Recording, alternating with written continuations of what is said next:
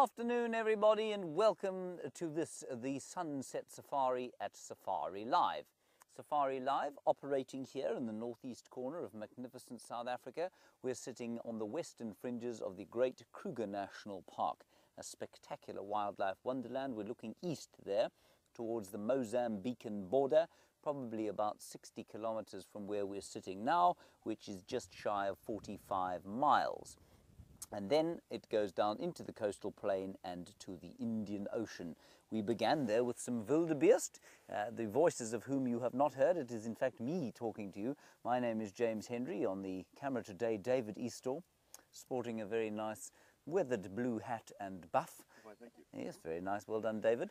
And on the other vehicle, we have Byron Serrao making his world debut today, filmed, abetted, and guided by Br- uh, Brian. So we've got Byron on what I'm doing and Brian on the camera. I find it very, very confusing.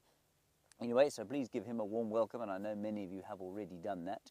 And then in the final control, we have Kirsten McLennan Smith talking in my ear, and I think it is Chelsea Bunn twiddling the knobs and tapping on the keys. Now, what I thought we'd do is just sit here for a little while and see what we can see, smell, and hear. So let's do the hearing bit first. So, what I'd really like you to do is sit where you are at home and close your eyes, turn your speakers up, and just listen for the next 20 seconds.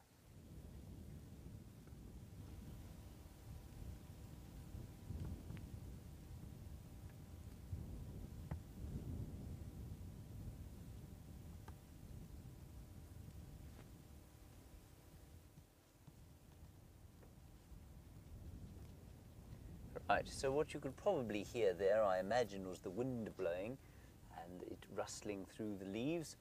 And if you have a very good set of speakers, you may have heard the odd leaf actually falling to the ground and the slight but very gentle and nice sound of the wildebeest hooves walking over the grass there. You'd have to have exceptional speakers to get that lot though. Then, in terms of the smell, take a deep breath in and pretend you're not sitting at home. And it's just a very fresh smell because there's this front coming in out of the southeast. That's the camera is facing to the east now. So just to the right hand side of your screen, the wind is blowing from there. And that gentle wintry smell of sort of what I call bush potpourri, which is the, the drying of the leaf litter on the ground there. Then there are two things here that I'd like you to see, two of which they're both quite difficult. Now the first one Davy, is just over there. Now, if you're walking through the bush, you've got to be very careful. You've got to have what we call 360 degree awareness. There, behind a little bush, sitting chewing his cud, minding his own business, flapping his ears to get rid of the flies, is a rather large buffalo bull. Now, the hunters will tell you the most dangerous animal in Africa. Well, if you tried to shoot me, I'd become quite dangerous too. They're not, you're not trying to do them any harm, they're generally fairly docile. And that little fellow's, well, big fella, is just sitting there very peaceably, uh, shielding himself from the wind by the trees and chewing his cud. And then there is another little bird, Dave, just in front of that wildebeest behind. You can see a bird on the ground there. That's it. Down a bit. There he is. That's it. A Senegal lapwing, everybody. So just in this little spot here, despite the fact that the weather's not great and we are therefore expecting probably a relatively quiet drive, but we'll see what happens just in this little section. Three or four really nice species, lots to listen to, lots to smell, and the general sense of peacefulness of Africa has descended. Now, a great treat for you, everybody. My friend Byron Serrao. Go and have a say hi to him.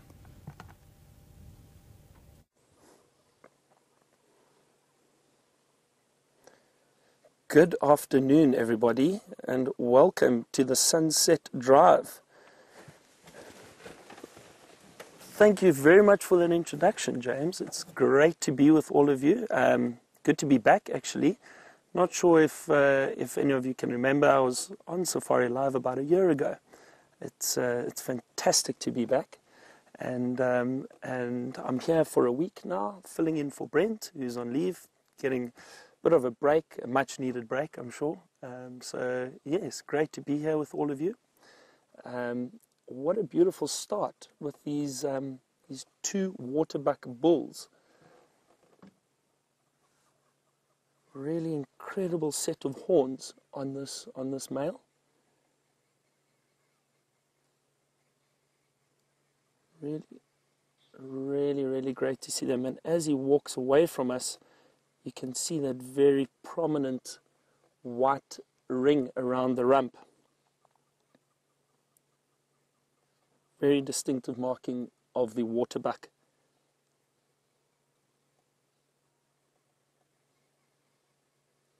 Just dropping some dung over there. No privacy in the bush.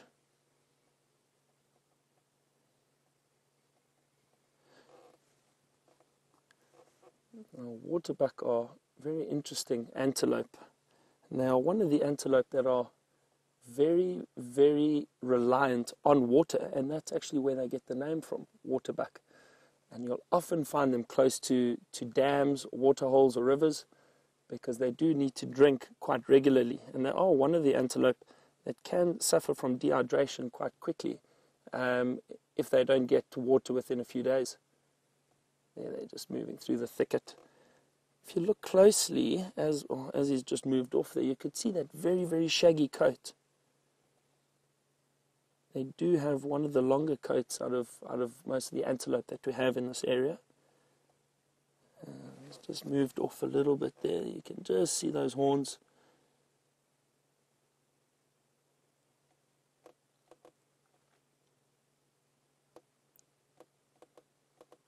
And there they go great. It's amazing how they can blend into the thicket, especially now in winter. Bush is very, very dry at the moment, so that dark coat, that grey coloration really blends in nicely. Um, so what a lovely start. It's always great starting something like this when you've got something to talk about. As I mentioned, it's um, uh, thanks to James for the introduction. It's great to be back with all of you, and uh, I'm going to be here for the next week. So hopefully we'll get some exciting sightings. I know you guys have been seeing a lot. And uh, so I'm very excited, hopefully share some of my knowledge and uh, my stories with all of you. It's always great to have different stories from different guides from different areas. Um, I think why don't we carry on moving along? This is a nice open area up ahead. Um, some bit of a drainage line to the right. Maybe we get some activity, animals moving in and out of there. Let's keep going for a little bit. And uh, please don't forget to send your questions in hashtag Safari Live on Twitter, or otherwise you can email us at www.wildearth, uh, sorry, questions at wildearth.tv. And uh, because it's my because it's my first drive, maybe you can be lenient and keep the questions fairly easy. no, I'm just kidding.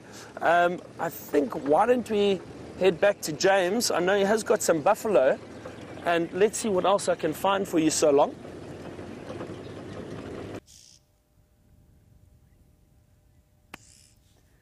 Well, now everybody, that was Byron.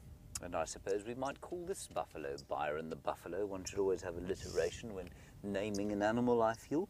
But on this buffalo, there are some oxpeckers, and they are not the standard version red bills. These chaps are the yellow-billed oxpeckers. Isn't that nice? Look at his nice meal there, David. Delicious. Mmm. Fresh, raw buffalo flesh eaten straight off the living animal. That's the way to do it. Anyway, you can see how the oxpecker's sitting there, and you can see his yellow bill doesn't seem to be irritating the buffalo at all. And this sort of behavior, of course, has given rise to the thought that they are not, in fact, so helpful, these oxpeckers, that they, in fact, are rather more parasitic than they are symbiotic. In other words, they don't necessarily help Byron the buffalo there. Rather, they keep his wounds open, possibly opening him up to infection and that sort of thing. So while they do take ticks, which undoubtedly is a help, once a wound like that opens up, the oxpeckers maintain it by pecking away like that. Much more uncommon than the red-billed oxpeckers. And Byron, of course, is not on his own out here. Oh no. Now we had a lovely question from one of the kiddies today in the classroom that we did. A, we did a school drive this morning for a school in Johannesburg. And well, it wasn't. A, uh, it was a question I posed them. I said, "Why would an impala be with a whole group of kudu?" Well, the same might be asked of Byron here. Why would he be with all these wildebeest? And the answer, of course, is that it provides him with some security. And I suppose, you know, being his size, it also provides the wildebeest with a bit of security, because lions will think twice about going for a chap like this enormous buffalo bull. And it always, it's interesting to see them together because they can actually be confused. Some people do confuse wildebeest for buffalo, but when you see them together like this, there can be no confusion. And they are also, I mean, that's an adult there on the left hand side of that little group of wildebeest. Probably weighs at its an outside maximum 250 kilograms. That is about a third of a really big buffalo bull. So, I mean, they are substantially smaller than these big buffalo. All lying down, all sort of chewing the cud, huddling together. It is a little cool. It's not cold, it's 22 degrees Celsius or so, which I think puts us at, oh dear, it's gone out of my mind, probably about 72 degrees Fahrenheit, if I'm not wrong. 71, I wasn't doing too badly there. And I did, I was very remiss of me. I remember during my introduction, I forgot to tell you that you must please talk to us. I think Byron did tell you. Hashtag Safari Live or questions at wildearth.tv if you're on the email. That's extremely remiss of me. Like I said yesterday, please do not bother to send any uh, postal messages. The um, South African Postal Service has been on strike for seemingly the last decade or so. Likewise, there's no telephone signal out here. So, that is the wildebeest. There is Byron the buffalo with his yellow-billed oxpecker friends. And I think we shall press on now and find many leopards. Do you want to see many leopards, David? Sounds good. Hmm, very good. On we go. Oh dear. Byron has not had a good start from a technical point of view. He is already black screen on Wendy. Oh well.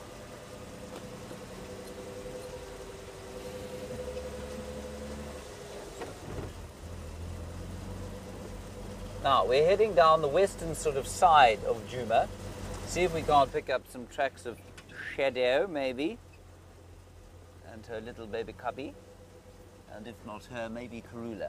We looked for Karula's tracks this morning. She was supposed to have come north yesterday, and you know, out of Little Gowrie, which is to the south of us. And our favourite 11, at least 12-year-old female leopard, well, she, I couldn't find any tracks today. Brent didn't find any tracks, so I'm not sure that she did come across. But let's hope. Maybe she and the cubs have come back during the course of the day. Now, if you are a new viewer, um, we do tend to focus quite a lot of our time finding the big cats simply because they're so entertaining. Well, most of the time, especially the leopards down here, because the leopards, uh, at the moment, there are two or three females with cubs. And of course, nothing is cuter than a cat cub. And the lions are also beginning to have cubs around the place at the moment, quite by coincidence. They're not seasonal breeders at all. And so a female has given birth on Torchwood to the east of us. We think there's a female lion on, well, obviously a female lion because males don't normally give birth. The female lion, I keep doing it. A lioness here uh, at Djuma, we think has given birth somewhere in a drainage line behind where the camp is.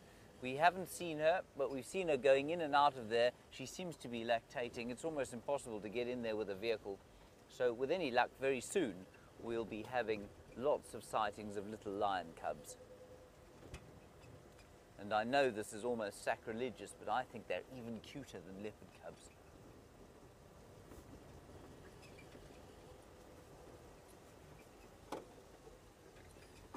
So we'll ease our way down to the south It's been a blustery kind of a cool day. I'm hoping this front is going to go away tomorrow. The real joy of winter is that the fact that it's, well, we have those chilly mornings, which are actually quite pleasant. And then the middle of the day and around this time of the day, the weather is just sumptuously perfect. Great big, deep blue winter skies and lovely heat. Hello, Gerard. You're interested in whether there have been bushfires in this area lately. Uh, David, do you have a, a lighter on you? Please, will you give them to me? Gerard, I'm now going to attempt to light a bushfire. Are you ready, David? Are you afraid? I'm very afraid. Get the fire extinguisher out. I'm going to light a bushfire.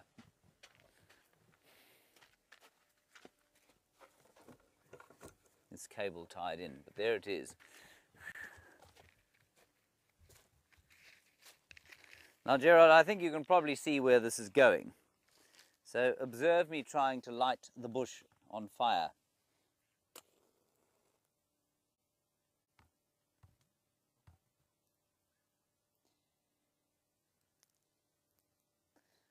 Oh, there we go. We had a bit of a flame there. Come on. There we are. That's it.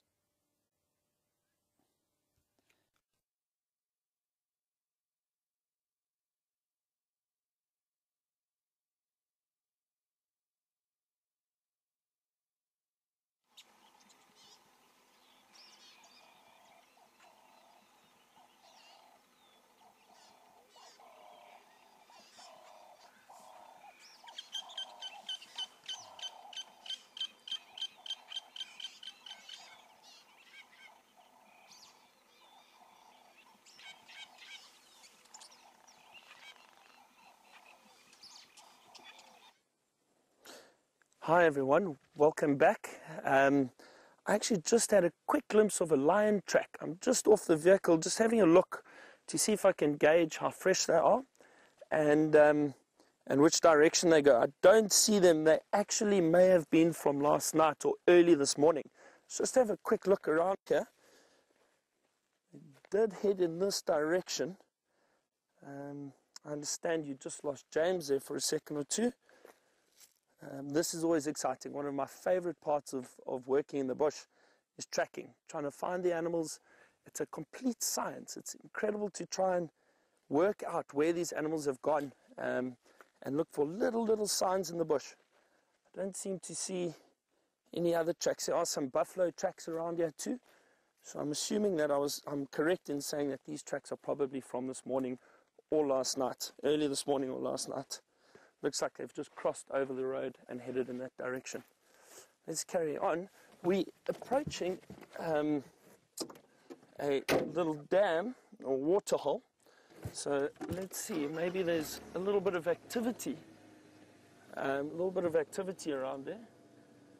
Um, sorry, just uh, one thing I did forget to do was introduce the trusty cameraman I have with me, and that's uh, Brian this afternoon.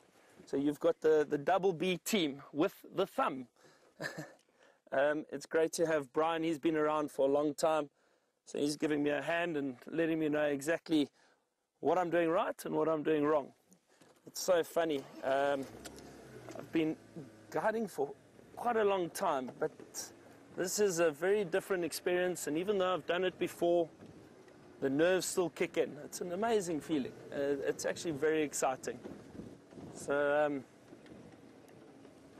if I do forget anything or get something slightly wrong, please don't hesitate to let me know.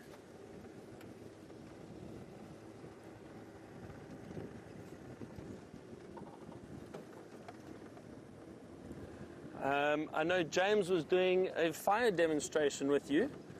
I really hope he hasn't managed to burn himself. Um, perhaps you should go and check on him quickly, just while we head to this water hole and, uh, and see what he has got up to. And then we'll see you back again shortly.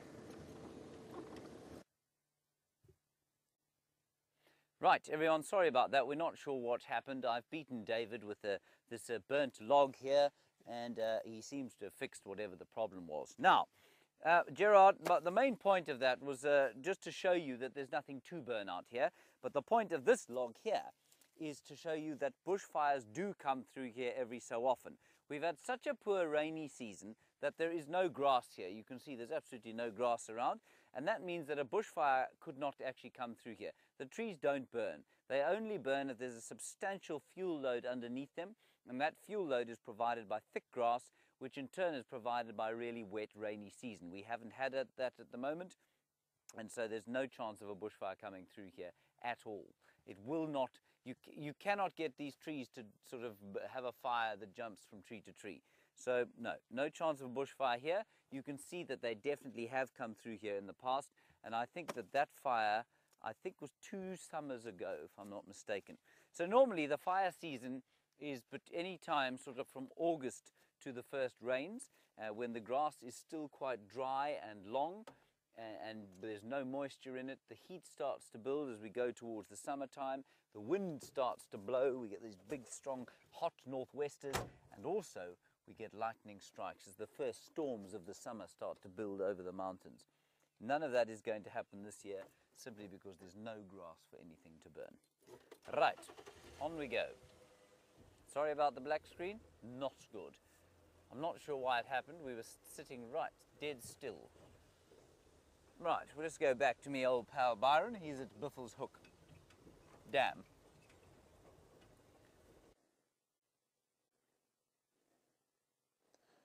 Welcome back, everyone. I hope James didn't injure himself at all while attempting to start a fire. Have a look what we've got here. Three beautiful impala, some young males You can See, the horns aren't fully developed yet that have come down to drink at the dam. They are really beautiful, beautiful antelope. Even though they are quite abundant in this area, it's still really fantastic to see them. Doesn't matter what wildlife it is, it's always incredible. And especially coming down to drink. One of the reasons why I love it so much is because you notice their behavior and how alert these animals are when they come down to water holes. It's almost like they know that there could be potential danger around. You know, predators often during the heat of the day, especially in summer, will come down to drink in the mornings or in the afternoons um, and may spend the day lying in the shade of the trees around waterholes. So, whenever animals come down to drink, whether it be antelope or buffalo, or any of the large animals, they are always alert and always on the lookout for potential danger or potential predators that may be lurking in the bushes. They had a quick little drink and off they go. And then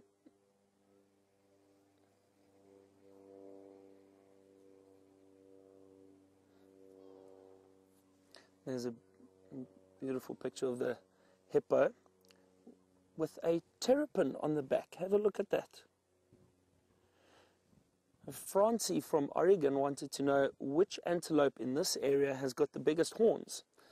Um, so, Francie, I'm not sure if you had a look earlier at those waterbuck that we saw, but the waterbuck, those big males, have huge horns, very long horns that are, are quite curved actually. Um, one of the other antelope that really do have a large set of horns are the kudu.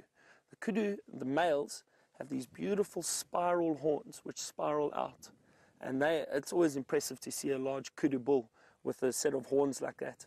And it's amazing how they've adapted to living in areas where the, where the thickets are. Now the kudu do something quite interesting, and I've seen it many times.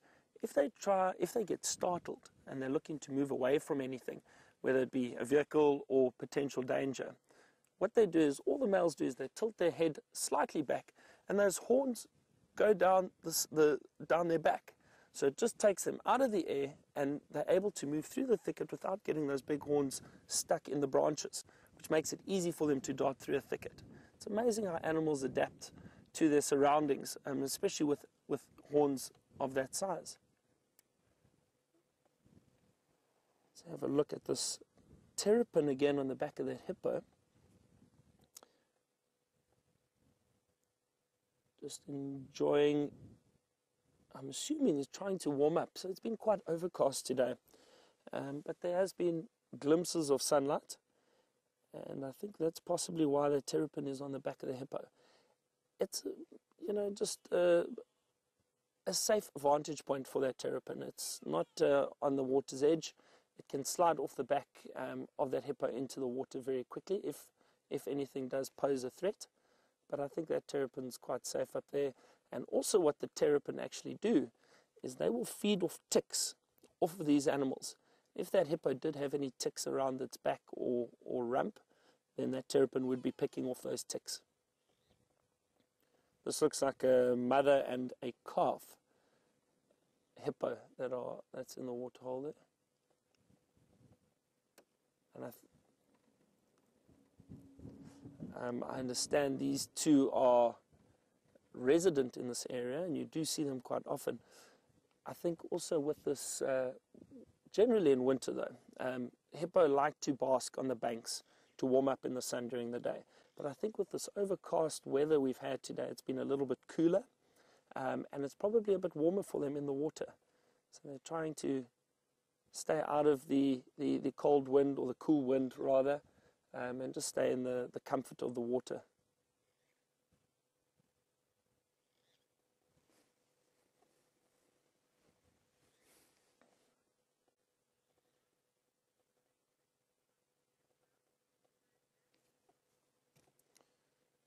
So, Marianne in Arkansas would like to know a little bit more about my background. So, thank you very much, Marianne, for asking. Um, so, I have been a guide for oh, close on eight years now. Um, and I started my guiding career at a well known game reserve called Londolozi, uh, which I spent about five years there, just south of here. And James actually was uh, was my trainer when I started there. So we go way back, and it's always it's actually great to be back and be able to guide with him. So guided there for about five years, and since then I have been doing private guiding. So I now guide guests throughout Southern Africa, which is fantastic. Get to see different places, get to go to different areas, and um, and accompany guests on safaris all over, which is which is really great and every now and then fill in where I can for, for Safari Live for one or one or two other lodges if they need if they need a hand. Um, as I said, this is a very different experience for me. No guests on the vehicle, millions of guests around the world. So it's a, it's a treat. It's a real privilege to be able to be out here and, and guide. See a few little birds that have come down to the water's edge um, to, to get a drink of water some starlings. There's a grey go-away bird. Um, I'm not sure if Brian can get them. There we go. See the grey go-away bird down, going down to drink, and the starling to the right.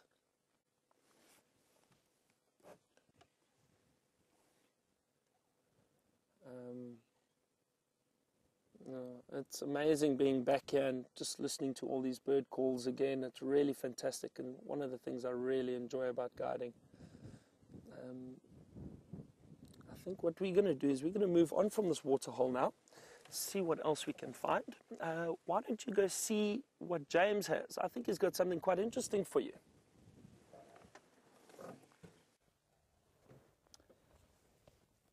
Obviously, we have something quite interesting for you. Obviously. Thankfully, we, David and I found some zebras here. Uh, they're very pretty, especially juxtaposed with the golden colours of the winter behind. I'm just going to be quiet for the next little few, the next, I've completely lost my train of thought. I'm going to be quiet for the next little while because I thought, I'm going to tell you what I thought I heard once we've listened. Right, so everybody, shh.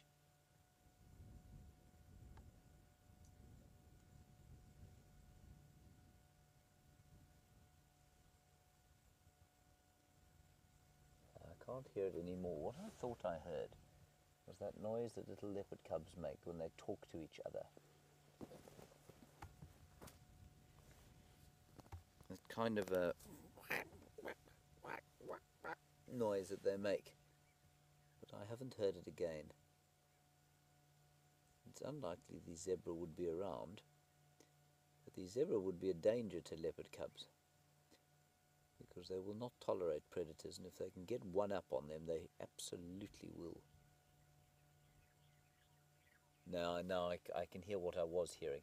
It was some helmet shrikes calling in the distance, and now that we've got a bit closer to them, I can hear.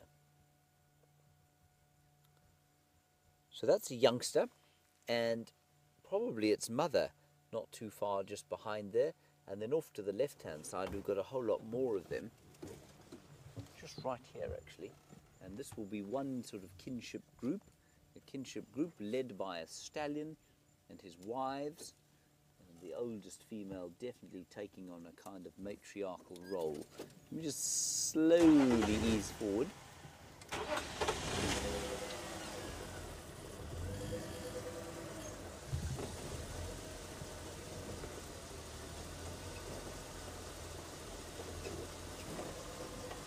I think they're such magnificent creatures, these, I really do.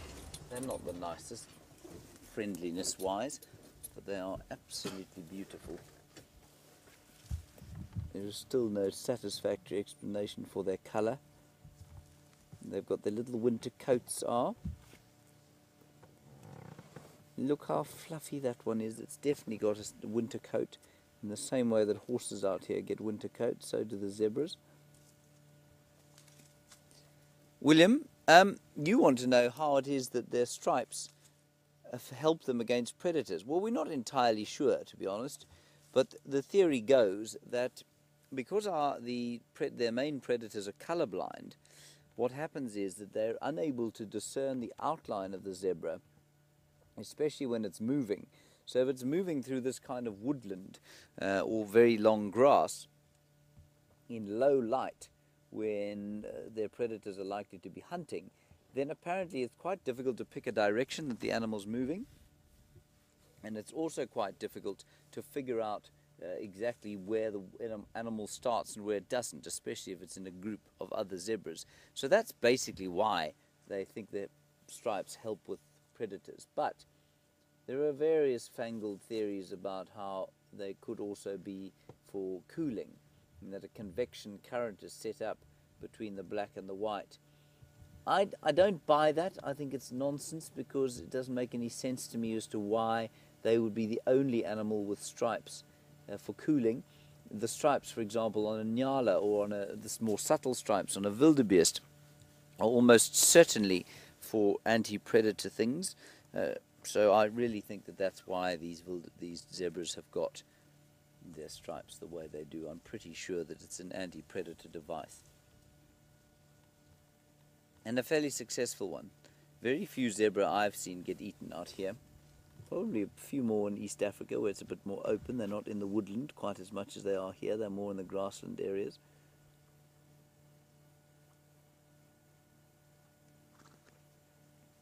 But they are so like horses, these Burchell zebras. They live the same herd structure, the stallion and his mares. They're not very good for riding, apparently. Their backs are not great for bearing load. And they also have a disturbing propensity to bite you if you try and get too close to them. Hurt more zoo workers in the world than tigers, which I think is quite something.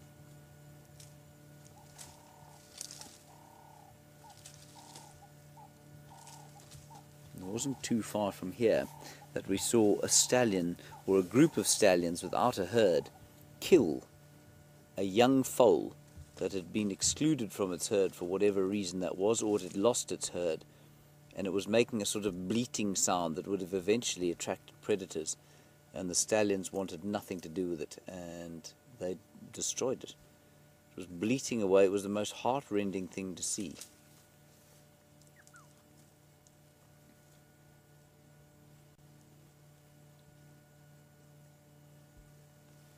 Anyway, as we go also towards the dry season, these zebra are in a fairly advantageous state, in that because they are what we call hindgut fermenters, so they don't ruminate like the They don't ruminate like the buffalo and the, all the other antelope. They don't have to re-chew their food. And that means as the food quality drops, they are able simply to process more food. So many, like a ruminant, has to stop eating at some stage because it has to lie down, re-chew its food, swallow it again, and then only can it continue eating. A zebra and an elephant and a hippopotamus and a warthog, they're not the same. They don't have to re-chew their food, so they don't have digestion that's as efficient. But once the food quality drops to the quality that it is now, you'll find that being a non-ruminant like the zebra is probably a more efficient strategy. And you can see if you look at them compared with the condition of the buffalo, which are now starting to look a little bit hippy, their hips are sticking out, the zebra look in fine form.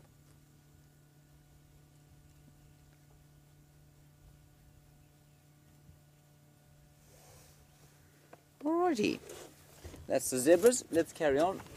We're going to go around the corner to see if we can't spot, well, something at the dam down there. Then we'll continue along just to check if Karula's tracks haven't come across.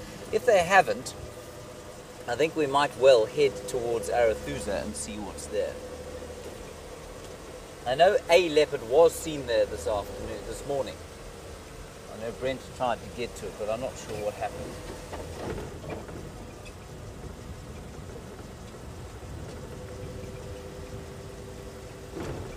That's quite nice. Byron's got some tracks of a leopard at Buffelshoek Dam. I suspect, given the direction of the male leopard tracks that uh, Brent was following this morning, those could well be Sindile. So that would be nice.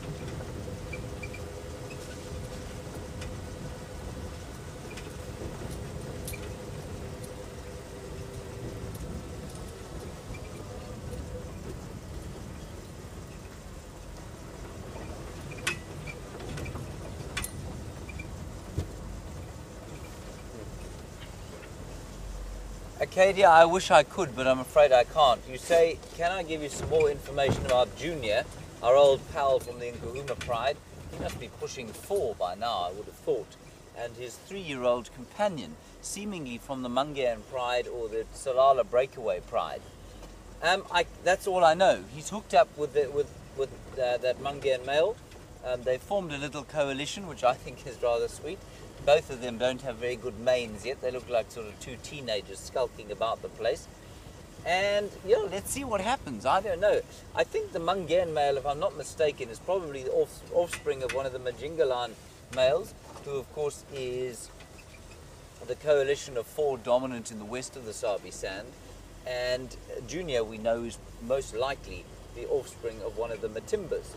So they will be almost unrelated, which is great for the genetics of whatever pride they take over. And let's see what happens.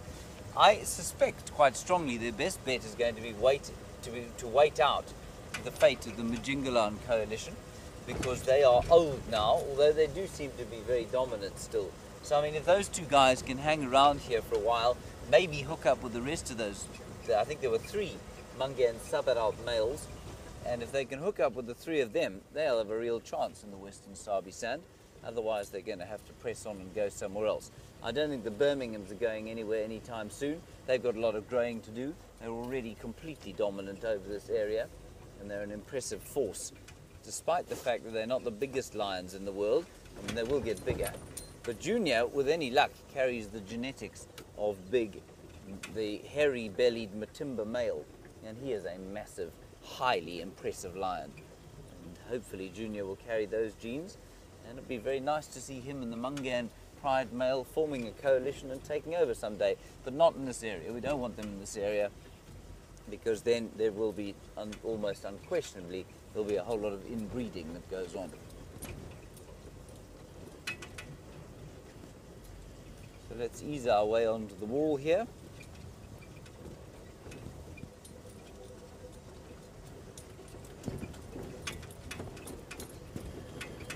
Here we are, Treehouse Dam. Oh, there's an impala, David. Can you believe it? There.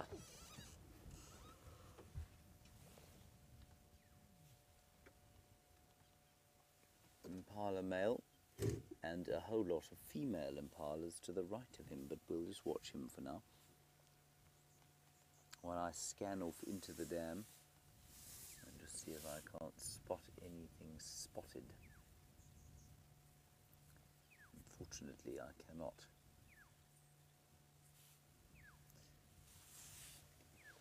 Very graceful are the impala, and of course highly water dependent, so they will lurk around the water holes like this, hoping to try and get some water. And believe it or not, there is actually water in this dam. Let's just have a look at the females there. Going to go a little bit forward.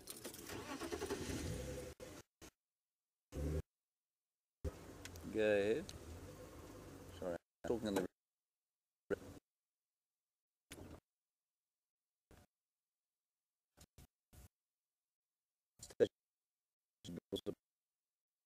down.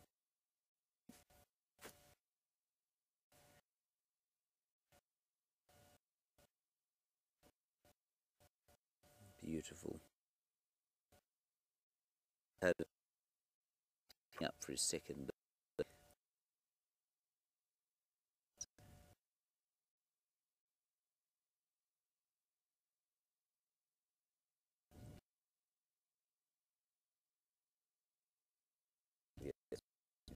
their best bet.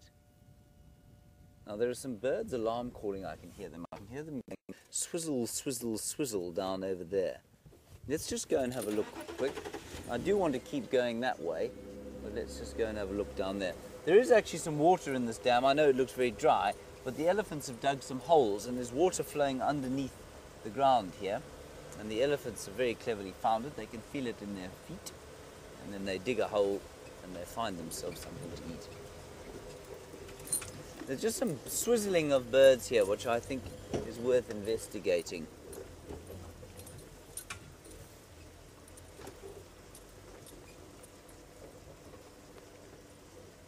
Now, Reese, a very nice question from you, one to which I have tried to find an answer for many years. There are the birds. They're in that tree there, Dave. You can just see them in that dead tree shouting in the top there. What are they shouting at? Let's just have a look see. They are white crested helmet shrike. They might just be shouting at each other. Reese, I'll get back to your question now because it's a good one.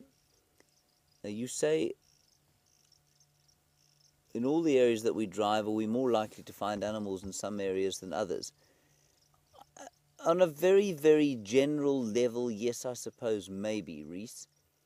But largely, it is very random. I think trying to predict where animals are going to be, I mean, we know where, for example, Karula's territory is, we know where Shadow's territory is, and so we'll go into those areas and then we might be lucky to find those leopards.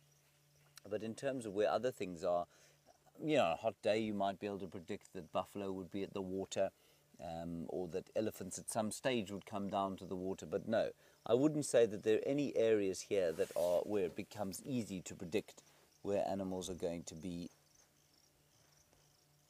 I don't know what they're shouting at, but I don't. They're impala so close that I don't think it can be a terrestrial predator.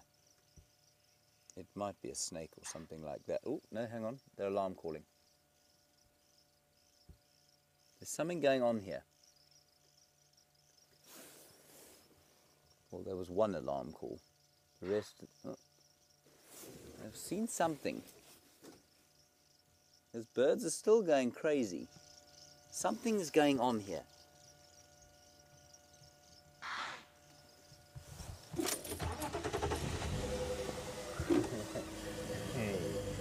Something's going on.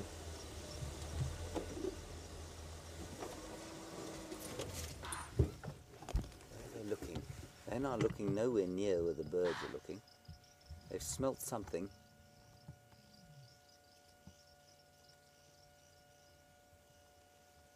And two are looking. Oh no! Now they're just fighting.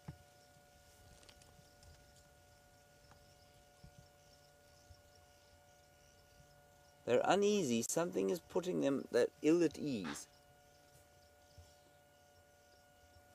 This is fascinating. I don't know what's going on. Let's sit here. It's, it's worth us sitting here. Now the other one's alarming at the other end there. And it's looking off into the distance.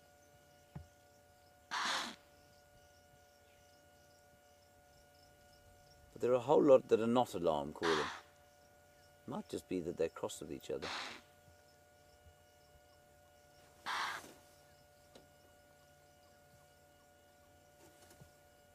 This is deeply frustrating. I need to work on my Impala language skills. Now looking this way.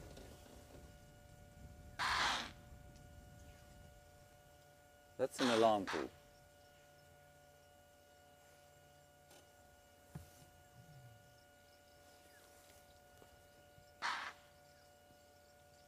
I'm so deeply confused now. There's half of them are just standing there eating.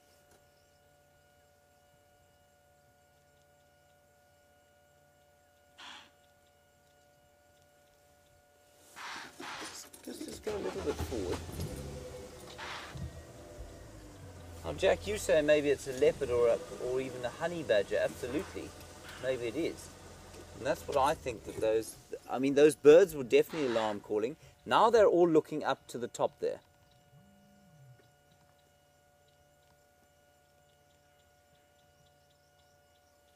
You know? I think it's going to be worth having a little drive around there. Let's just stick our heads in here.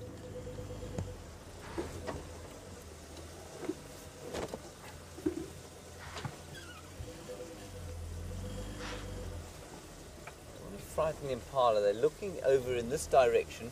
This is where those birds were shouting from.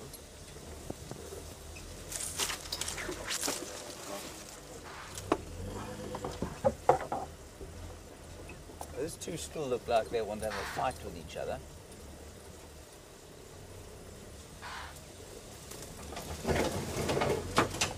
Can you see, David? Warthog just up ahead. Warthog running away.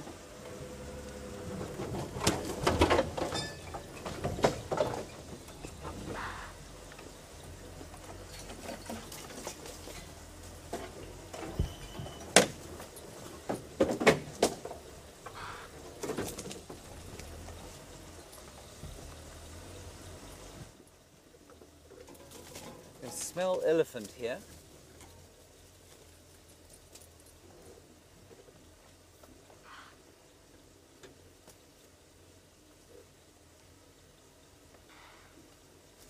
You can also hear the bird's alarm calling off to that side.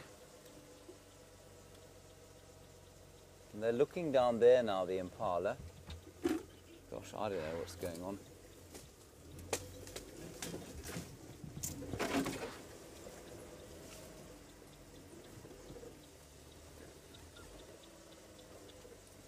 I think we need to go out onto the road and back off towards the east there. Let's see if we don't pick something up there.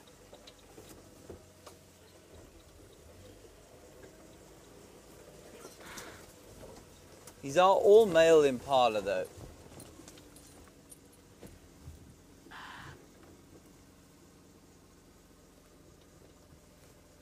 This is so frustrating. I don't know what's going on. Anyway, let's go back out onto the road. We'll do a quick turn. While I do that, while I investigate, let's go and get an update from Byron on his leopard tracks. Hopefully, I'll have a decent answer for you when you get back.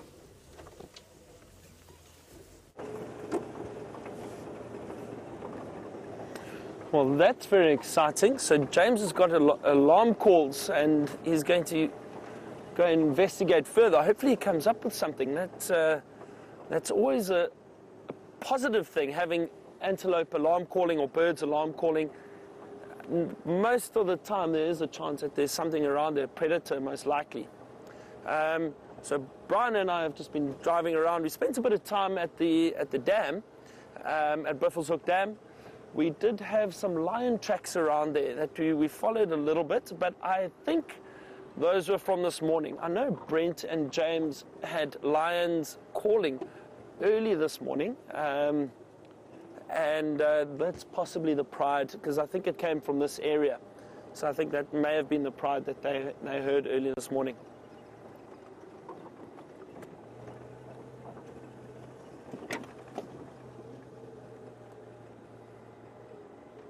It's a lovely, cool afternoon. Uh, really, I really enjoy driving in weather like this because you can tend to go out a little bit earlier on game drive and um, and you can spend more time, especially in the mornings, out on longer drives. And generally, the animals are a little bit more active in, in weather like this when it's a bit cooler.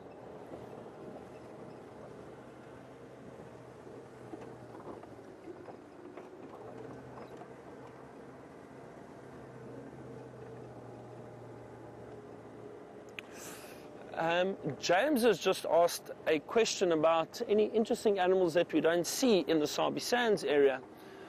Um, James, good question. I'm trying to think now in other areas that I've been recently. So I have seen. I'm trying to think. So we've got. Um, animals like aardvark and pangolin, which you do get in this area though, but they are not seen very often. Um, they're very, very shy nocturnal animals. There are other parts of South Africa and Southern Africa that you tend to see them a little, a little more frequently, especially dry areas in the um, Kalahari, for example. Tend to see a lot more aardvark and pangolin um, activity. We also get um, animals like a striped polecat, which actually looks almost like a skunk. Um, it isn't a skunk, but it does also have a chemical defense like a skunk. It does spray a chemical defense, which does smell very pungent. Um, we do, they, the distribution says they do occur in this area too, but I've never seen in this area. I've only seen in the Kalahari. Um, trying to think what else. There, there, are quite a number of antelope species that, that you'd get in other areas. They perhaps are suited better for drier, more arid um, conditions as opposed to here. Animals like the gemsbok, or otherwise known as the oryx, very, very beautiful antelope with long horns, long straight horns. Uh, you, get, you get a lot of them in the desert. Uh, what else? Uh, springbuck, which we don't get in this area, is our national um, animal uh, for South Africa. Beautiful, dainty gazelle, uh, the only gazelle we get in South Africa. And, uh, and they um, also prefer generally the drier, more arid conditions. So I hope that answers a bit of your question, James. It's generally antelope species and that I would say where there's a bit of a, a bit more of a distribution difference.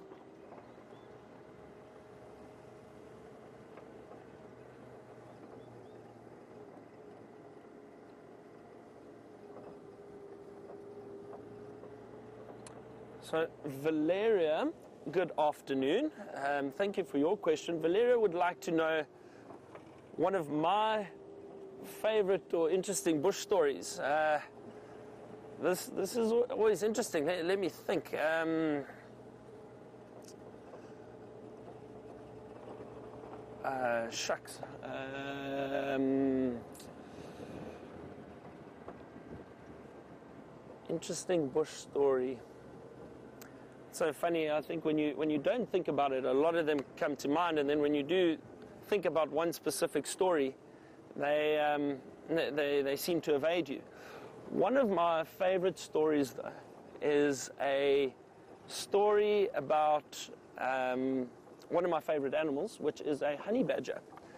Now, a honey badger is incredibly tough and tenacious. It's a fantastic animal.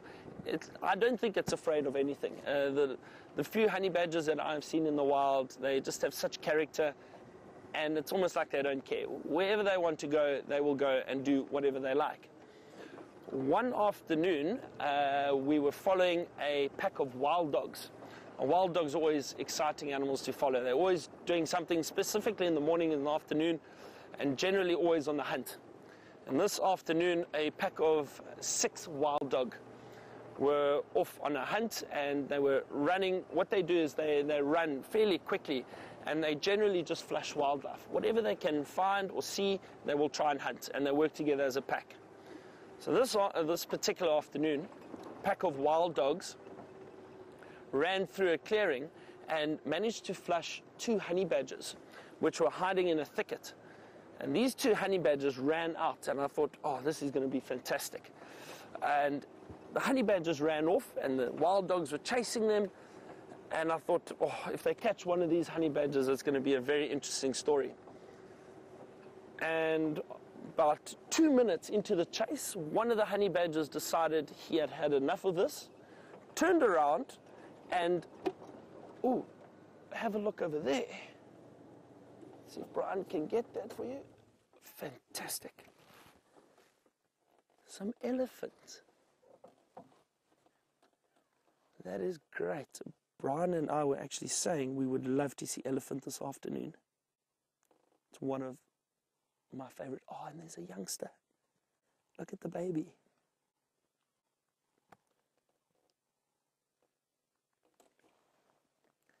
I think, why don't we sit tight here for a while and see if they, they look like they are moving closer.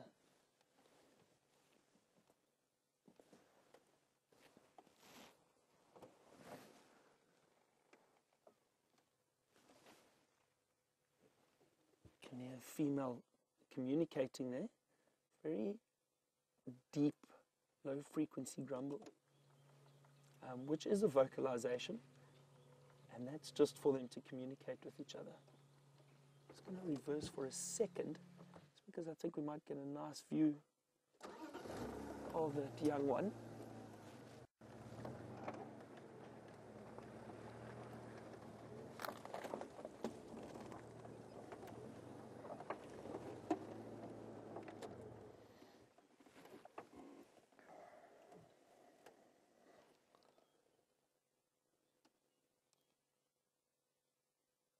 Beautiful female with her calf behind her.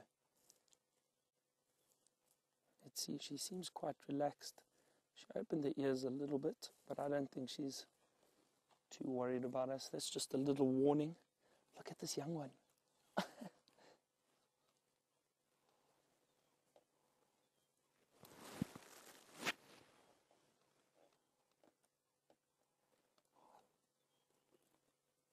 this is so, so special.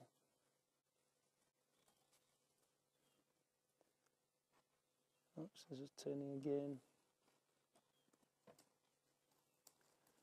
She's not showing any sign of aggression at all. This female is purely watching us. She just wants to make sure we no threat to her calf. And often, and most of the time, I find with elephant, if you sit still and allow them to approach you, they become quite relaxed and comfortable with you being around. And then they carry on with their business. As you can see, this female is breaking off some branches um, from that little bush with her trunk. And let's just see how she feeds on it. It's a nice close up there. She might be looking for leaves, but earlier. Oh, yes. See she's missing the tip of her trunk there. Do you see that? That's very interesting. I'm not too sure what could have caused that. Um, I really don't know what that could be from. But it doesn't seem like it has affected her at all. She's still able to feed. She's looking after this calf very nicely. Calf looks healthy. Look at that. It's incredible. These youngsters, look, trying to use its trunk there, it takes them about two years to really work out how to use that trunk properly. So you'll see they'll fool around a little bit, they'll swing it around, they'll try and feed, um, try and copy the mother and learn from the female.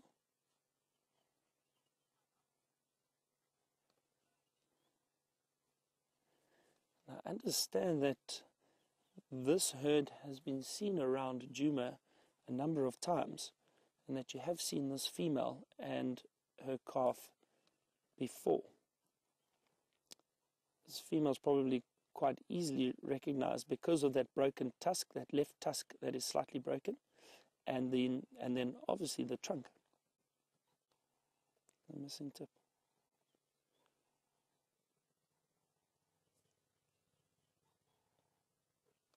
I'm not sure if you all heard that, but there was a again that low frequency grumble and that vocalization to communicate with the other elephant, which I can still hear. I, we cannot see them now, but I can hear them in the bushes.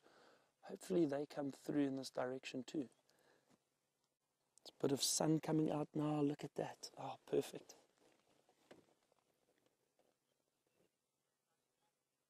This is incredible.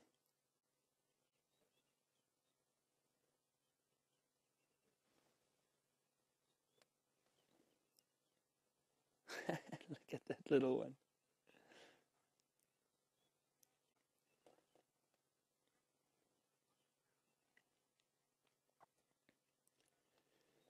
So Elaine has an interesting question. As the elephant approached us, um, she scraped her foot on the ground. Now, Elaine would like to know why the elephant scraped its foot on the ground. Um, Elaine, there, there are a few reasons or possible reasons. The one is often elephant will scrape the ground with their foot to try and loosen some sand, and they pick up the sand and they throw it on their back, and it helps to helps to cool them down um, or get rid of some of the flies and, and ticks that might be sitting on them. Um, the other reason is often what they do is they kick the roots of little branches or shoots to try and loosen it, and they'll pick that up with their trunk and they'll feed on it.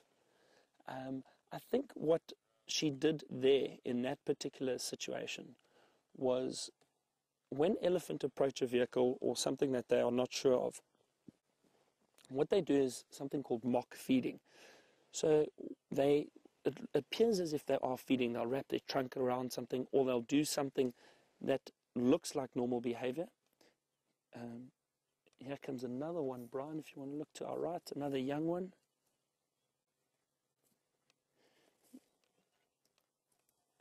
Um, and what the female does is, or what elephant often do is mock feeding, and what they're doing is just um, assessing the situation. Are we a threat? Are we a danger? She just wants to make sure, especially with the calf close by.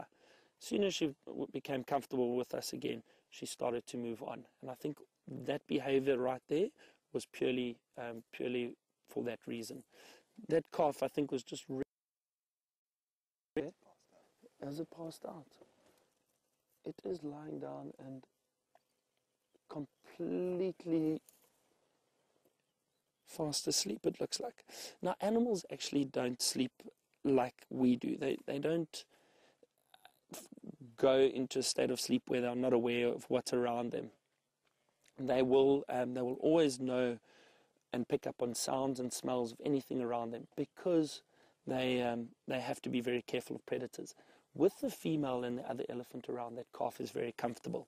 So I think that's why it's decided to lie down and rest. And elephant do lie down and rest, not for long periods of time. There we go, calf's up again. See that? But if it gets a chance, especially at that young age, it will try and rest a little bit. Wasn't that amazing? At the mouth. this is fantastic. There again, some communication from the elephant. Oh, and the sun is perfect right now for this sighting, warming us up a little bit. There's, we're in a little bit of a drainage line, so we're a little sheltered from, from the wind that we had earlier or the little breeze, the cool breeze. So it's actually fantastic right now. Amazing conditions. Watch that young one pulling that branch through through its mouth. Often what elephant like to do is they'll take a branch, put it in the mouth, and they roll it through their teeth. And what that does is it breaks the bark off of the branch, which is something that they really enjoy feeding on. The bark contains all the nutrients and the good stuff that they want. So they'll strip the bark off feed on that and then often drop the, the stick or the branch that's left behind.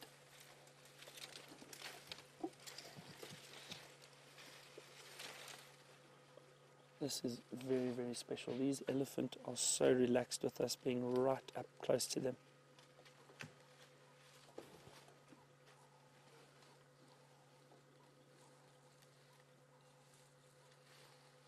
There we go. Have a look, see if you can see it rolling that branch. Trying to chew off that bark, the juicy bark. Again, because it's a young one, it's probably still learning. It's watched its mom a few times. Now it's trying to work it out for itself. But an elephant this age will still be suckling from its mom.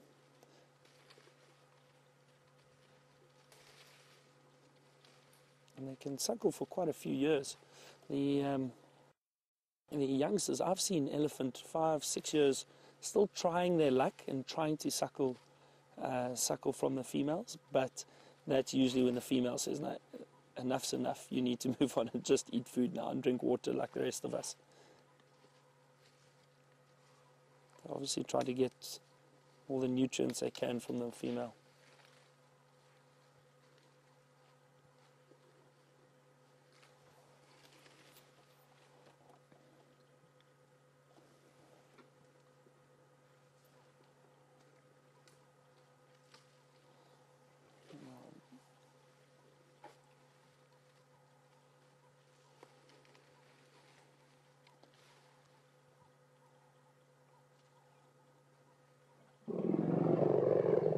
Oh, did you hear that? Very, very loud vocalization from that elephant. And I think the reason being is I did hear some elephant coming through the thicket there. I can see some movement now. I think that was the one that communicated first, and this female answered. Just off to the right of the embankment, there you can see a larger elephant coming through there. Jack wanted to know, uh, and an interesting question, Jack, because we hear this throughout our lifetime about elephants and their memory. And Jack wanted to know is it true that an elephant never forgets? Well, Jack, I, to be honest, I don't know. I mean, how, how do we measure that and how are we, uh, how can we be certain? In my experience, and with what I've seen from, from elephants and their behavior, I think they've got incredible memories. I've seen elephants coming to the same area year after year, looking for specific food at certain times of the year. Um, whether it be in dry season, they know where the good vegetation is, they know where the remaining water is. Um, you hear, and I have seen documentaries of elephant in very dry, arid areas that will migrate. And what they do is they move around from one area to the next, knowing where the food will remain longer because of a stronger water supply. So there's definitely a, a, a strong memory for, for an elephant, and I'm sure they don't forget.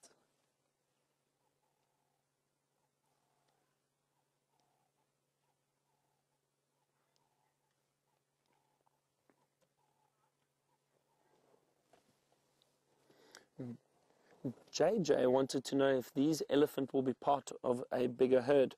Um, JJ, I think possibly. And often what happens is you may get you may get herds splitting up at certain times of the year. Um, maybe there's not enough food around or water, so the herds might split and move off into different areas looking for food and water. Uh, I don't think we've seen the whole herd. There are more coming. I can hear them just haven't seen them yet. And as I say that, I can see another two moving through there. So, JJ, I'm almost certain there, there are quite a few other elephant around here. But elephant herds, you know, range from three up to 40, 50, 80 elephant in certain areas, all depends even more. Um, again, the, the variables of the food, the water, uh, all have to be taken into, into account. And um, but like I said, I don't think we've seen all of them. Uh, there's at least three, four, five, six.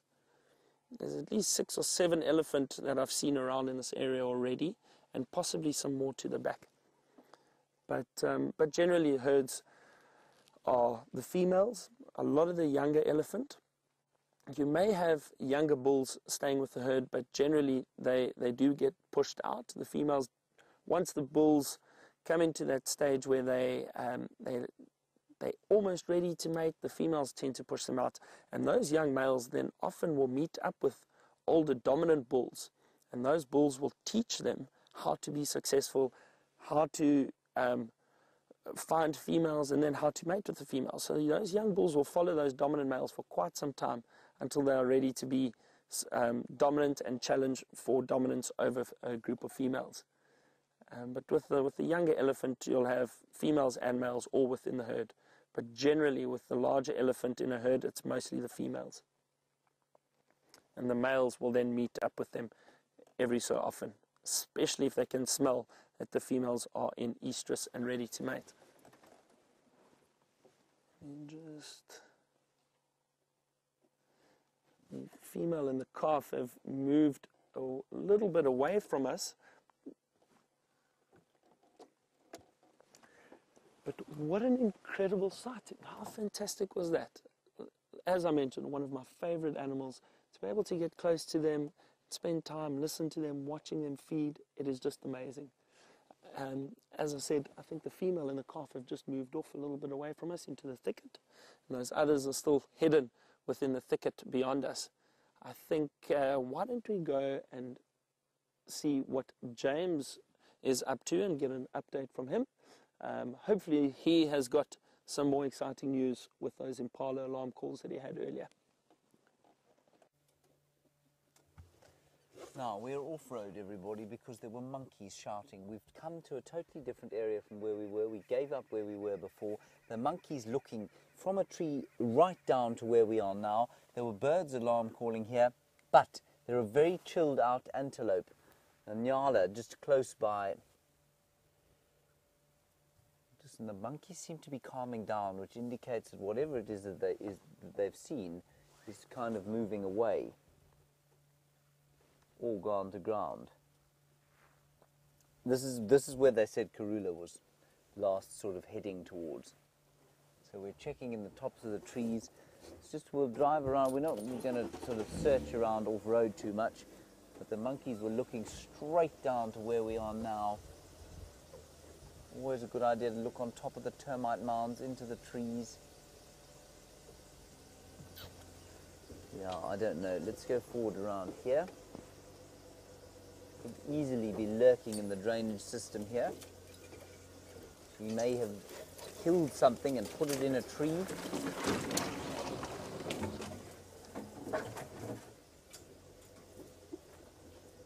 Look down here, all along the drainage system.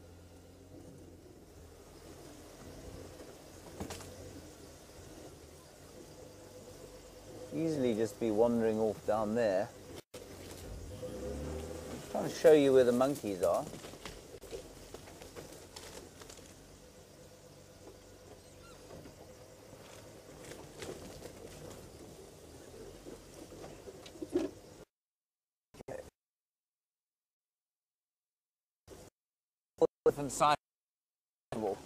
I'm so glad that young, oh, young half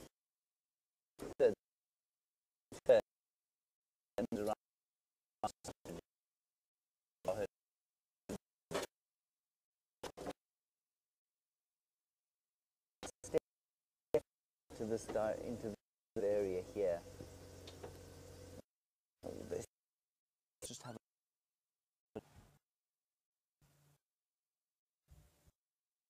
oh, no.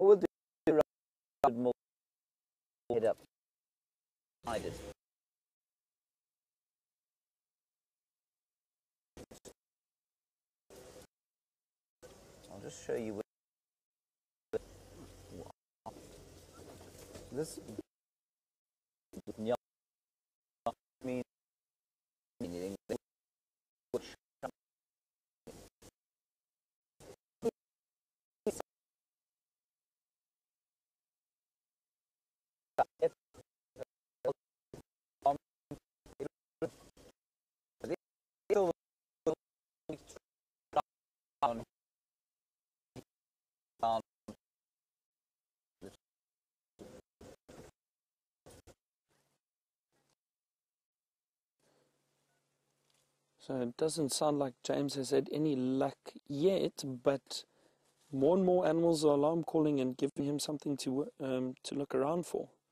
Let's hope. I'm sure, I really do think he is onto something there. We are still with this herd of elephant, um, which it seems like um, quite a few elephant around this area. I've seen at least 12 now, so there's definitely a large herd moving through this area.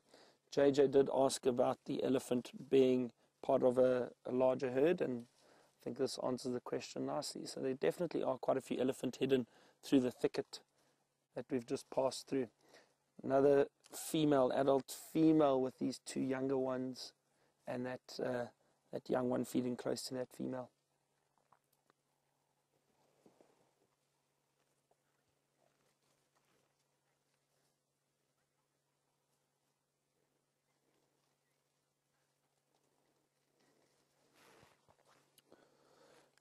Good afternoon, Debbie from Vancouver. And Debbie would like to know what happens when two completely separate elephant herds meet up. Uh, good question, Debbie. Um, I think it does depend on the, the time of the year. Uh, elephant elephant are not necessarily very territorial. They they do move wherever they, they like and and especially depending on the time of year where the food and water is. I have seen a number of elephant herds um, that I think are unrelated. Again, I'm not entirely sure if they if they were or if they weren't, but I have seen herds coming from different directions, different areas, meet up and feed in the same area, feed, um, go and drink water from the same water hole, and they are not phased about each other at all. The only time I really see elephant a little bit nervous and agitated with other elephant joining is when uh, a big dominant male comes into a herd. And that male just causes a bit of unrest. He is generally there purely to look for females to mate with. So it, it does um, cause a bit of stress amongst, amongst the herd and causes the, the females to become a bit restless and a bit nervous.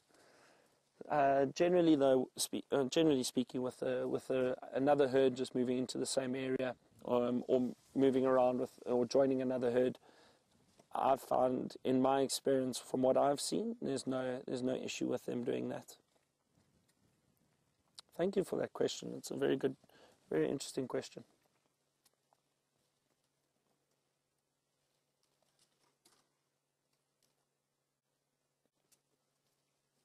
I could watch these elephant for hours.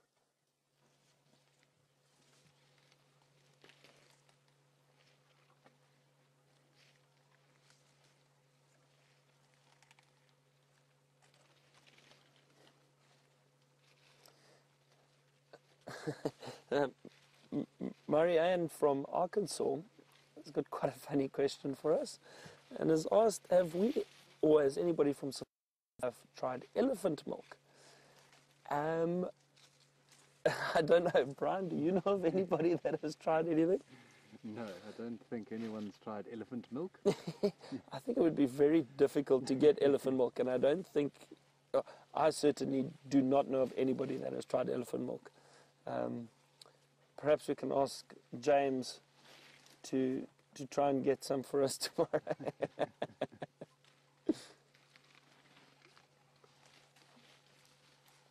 Have a look how they are devouring those leaves. Really enjoying the bit of greenery that they can get from these, these combretum trees or bush willow trees that are around.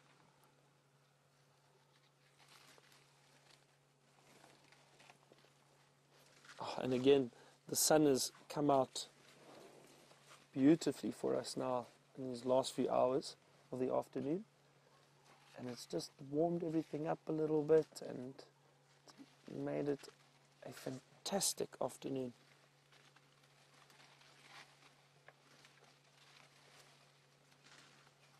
It's incredible to watch how these trunks work. Holding these tiny leaves and grabbing and stripping the leaves off the branches and putting it in their mouth, constantly feeding. Elephant need to feed. I mean, you can imagine being herbivores and um, getting to that size. They need a lot of fuel. They need a lot of good food to be able to keep their their large bodies going. So they do feed for most of the day. Oh, that youngster.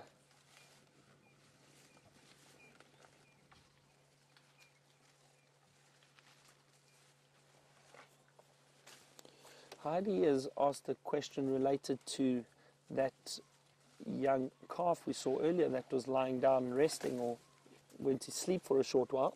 Heidi would like to know how long these youngsters can actually sleep during the day.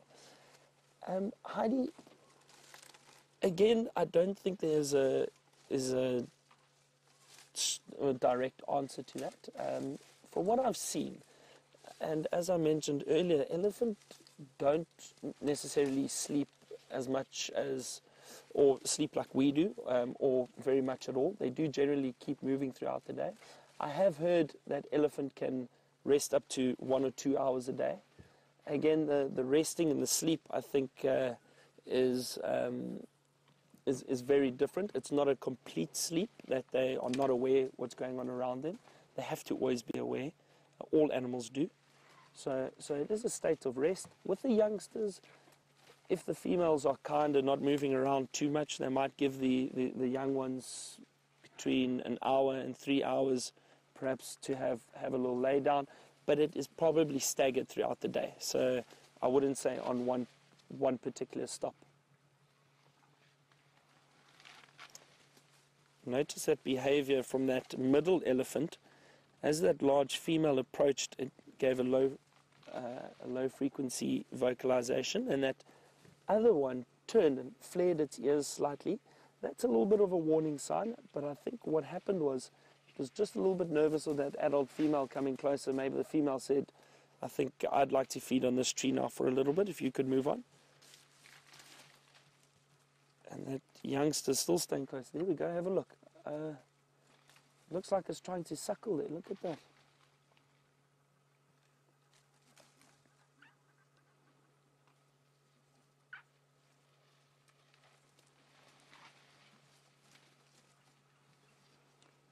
And Julia from Houston has just asked if elephant react to caterpillars or perhaps any other insects that might be on the leaves or the trees that they are feeding on. I don't think they do at all. Um, the other thing is, you know, elephants' digestive system isn't very efficient. They only absorb about 20 to 30 percent of the food that they actually eat, the nutrients from the food that they eat. So a lot of it um, passes through the elephant's digestive system quite quickly. But have a look at that young one suckling. There we go. That one's much older than the young one we saw earlier, and it is still, still, uh, still suckling. I would guess that young one to be about um, three years old, roughly. Again, it's always very tricky to estimate the age of, of animals, but I do think that's about three, three years, maybe close to four years old, somewhere around there. But you can see it perfectly. Look at that. See how it curls the trunk back, allowing the mouth to suckle from the teats, which are situated, as you can see, under the front legs of the elephant.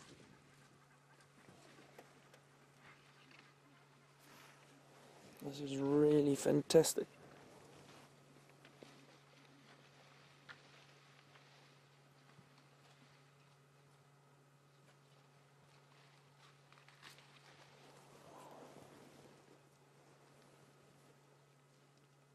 Look at that. While we are sitting here, bird calls are still going on around us. I can hear a very interesting bird calling in the distance. Just behind that back elephant, the sound is coming from that direction. I'm not sure if you'll be able to hear it. It's, um, but it's a deep sound. It sounds a little bit like a woo, woo, woo, woo, woo. Um, I think some of you might be thinking that is a southern ground hornbill. I know James was trying to impersonate that call this morning, and Brian does a great impression of the southern ground hornbill, but it is not. It is actually a giant eagle owl, or Verreaux's eagle owl, and um, and it's got a very deep call. I can hear one calling now, and they do often call um, late afternoon or early mornings. They'll sit in a tree, in a very dense, big tree, right up at the top calling. And I think just just now, um, shortly, we may we may see if we can try and find that. But these elephant are out in the open. It's just too good to leave. It's fantastic. And again, just have a look at how relaxed they are with us.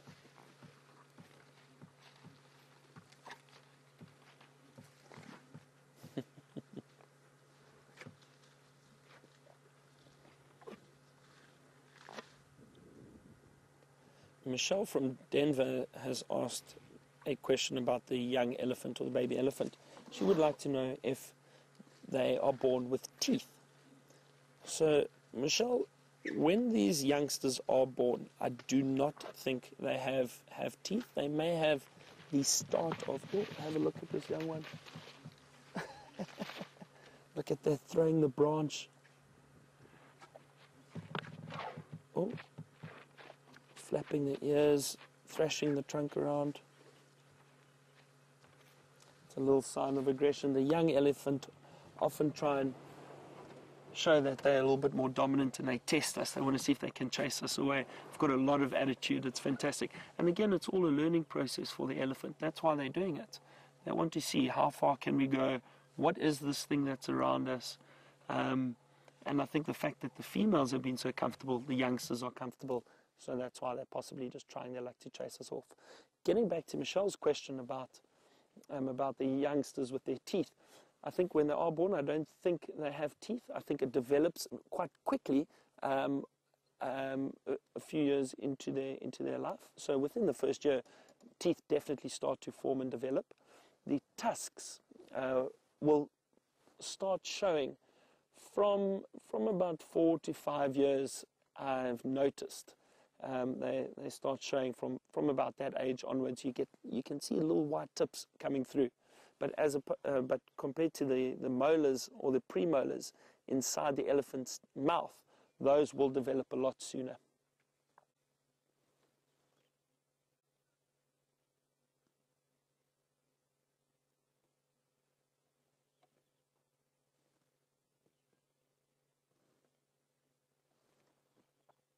And it's incredible how these large animals can disappear into a thicket quite easily, become almost invisible. It's been fantastic that they've allowed us to spend so much time with them, them going around their business, feeding, completely relaxed and happy with us being here.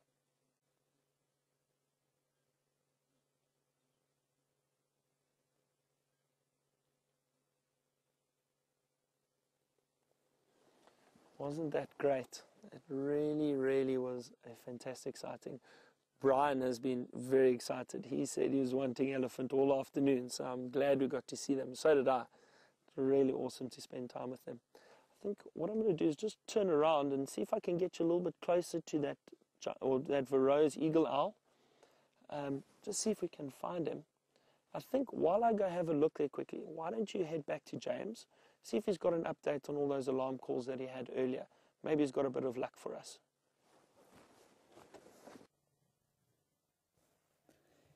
Alas, there is no update on the alarm calls unless those monkeys had sight of this crested francolin and were sore afraid and so began yelling at each other. I don't think that's what the problem was. I had a long walk through the area where we were. I came up with absolutely nothing. That's not to say there's nothing there. I just didn't find it. Anyway, we're going to do one loop down through here and then, as I've been promising all day, we're going to go to Arathusa and see what's going on there. The more and more I say that, the further and further towards the east of Djuma we go. Anyway, at least we've had some elephants to look at. That's marvellous. Anyway, crested francolins shouldn't be uh, spurned. They are beautiful in the same way that impala shouldn't be spurned. They too are beautiful. Leopards are more beautiful though, don't you think, Dave? Yes.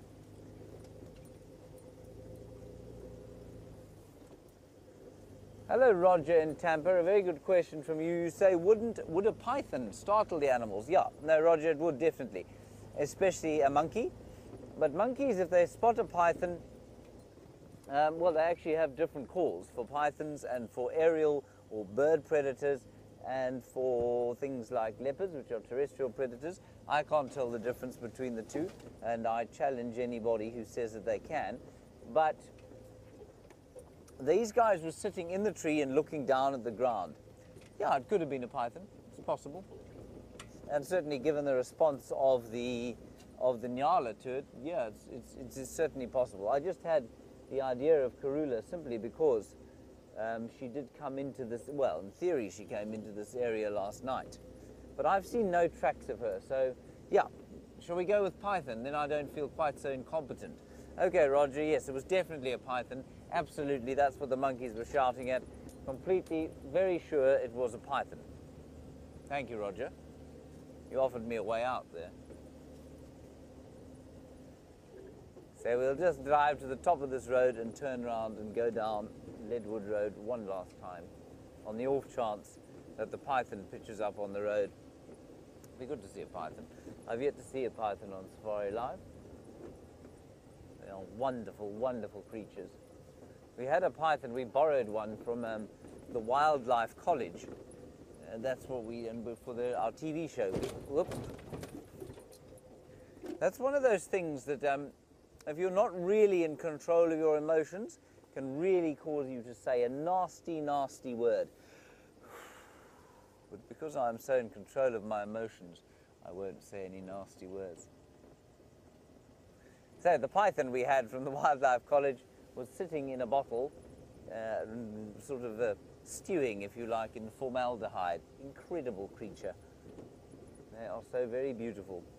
So we'll try and find a live one at some stage sunny day, if it gets quite sunny during the winter, it's always possible that you might see one.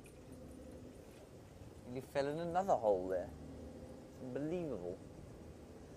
I'm struck immediately driving through here. You've been with the elephants with Brian, with Byron and Brian. And if you look around us here, the elephants have left a trail of destruction. Now, to our naked eye, and even if you don't have a naked eye, it looks like that can't be good, can't be a good thing. But it is. It's a perfectly normal thing. But I am struck by how much the strychnos bushes, which are these, um, let me find you a strychnos bush. Obviously, as soon as I want to find you a strychnos bush, it becomes utterly impossible. I will find one. But they form these big, thick stands, monospecific stands of strychnos, and they're starting to be thinned out by the elephants. And that's great because they do seem to be encroaching on many areas, and so I think that's rather wonderful. And that's exactly why a drought like this is not necessarily a bad thing. It's not necessarily a bad thing that there are lots of elephants in the area at the moment. Byron is somewhere up there behind us. There's a steenbok, just to show you that I haven't completely forgotten how to find any form of animal. Don't run away, steenbok. If you run away, I'll shout at you. There it is. Lady Steenbok. Very elegant. very pretty. See? She's done her makeup on her eyes. It's a bit gothic, don't you think, Dave? I like it, James. You like the you like the dark eyes? Yeah. Mm. You're a bit gothic yourself there, really.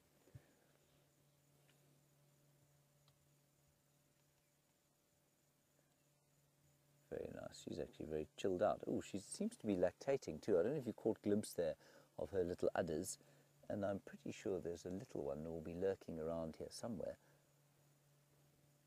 But they are extremely well hid. So that little steenbok is, what's she licking there? Is she eating?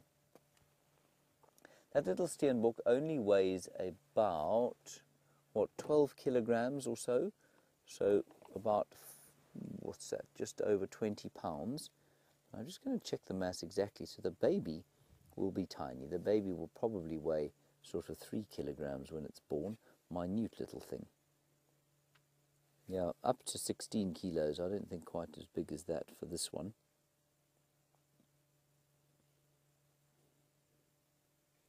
And often here, the little pair dominates this area. So they go little territorial pairs. Interesting. Maybe just keep an eye out as we drive past. There might be a very, very tiny one just lying under some thick bush. Because that's what they'll do. They will lie dead stone still and become become almost invisible. Oh, that's a stunning shot of a Steenbok. If I wasn't the world's slowest photographer, I'd think about taking a photograph. Yep, no, no, no good. Got it. Camera tangled up in all sorts of other equipment. Susie, thank you. You say they're your favourite, these little Steenbok. That's marvellous. I think they're rather good too. We had a lovely question today about why it is that some antelope run away and some do not. I'm going to get back to you now. Byron, who's on his world debut, is uh, finding all the things, and he's got a really interesting bird to show you.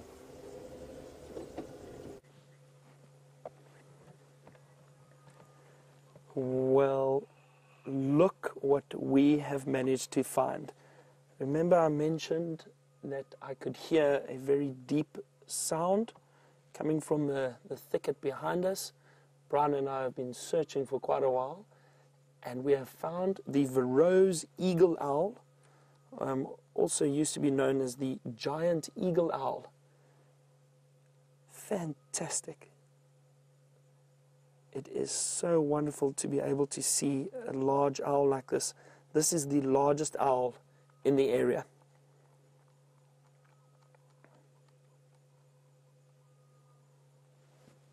Let's see if they call again for us. This is such a wonderful sighting. Look at those pink eyelids. Have a look at that. Beautiful, beautiful pink eyelids. Look at those tufts of feathers on top of its head. Almost appear as if as if they um, have ears. Those are just um, those are just feathers. There was another one calling. There were, um, I think this is possibly a pair, and they've been calling to each other. There was another one further down, but we managed to spot this one right here. In quite a thick area. I don't know, Brian. Would you like to see if you can zoom out a little bit and just show everybody how well hidden this owl is. It's got a perfect spot right up in the canopy of that tree. Look at that.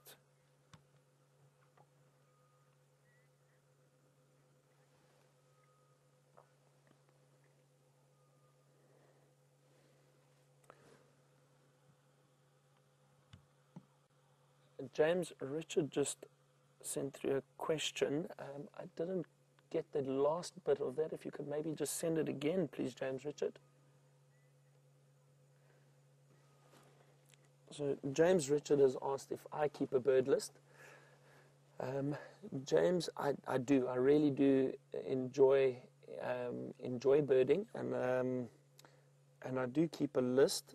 However, I have not tallied up my list for about five months, so I'm not too sure what I'm sitting on at the moment. Um, but again, it's it's only Southern Africa really. So and I am not a twitcher in terms of I wouldn't necessarily go to a specific area um, just to see a handful of birds. If I'm in the area um, and I have my binoculars, I will go out and go birding and see what I can find. But I do enjoy, I, I do really enjoy birding and I do keep a list.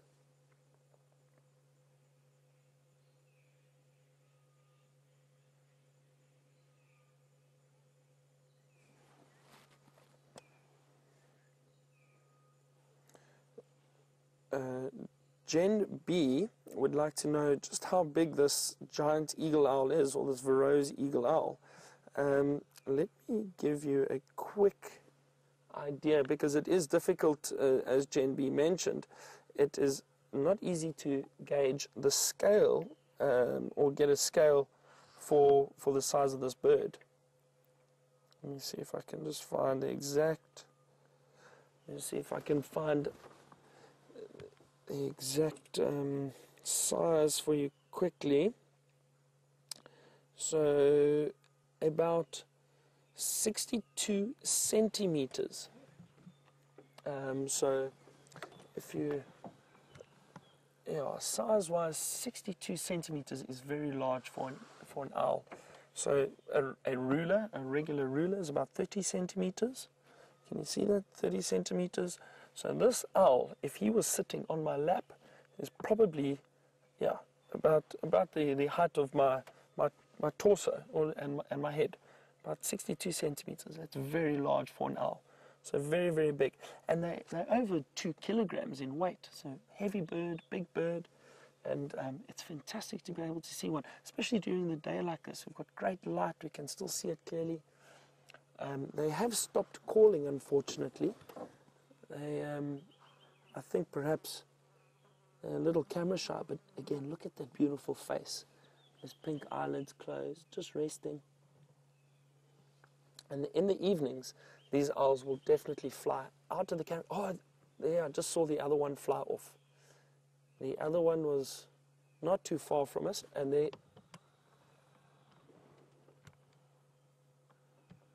Oh, just moved up into tree over there.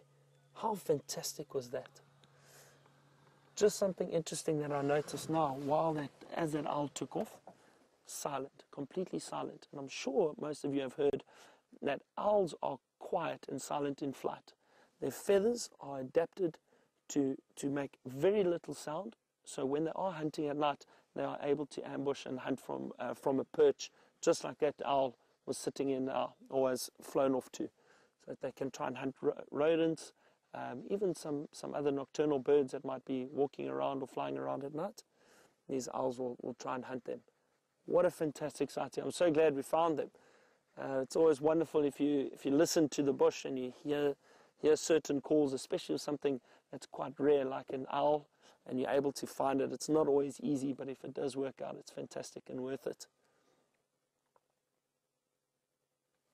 That was great. Trying to see, it's still sitting there. Oh.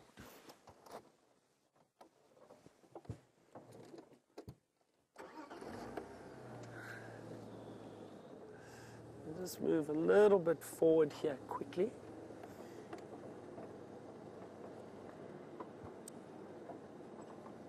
I think we should be able to get the owl again through here.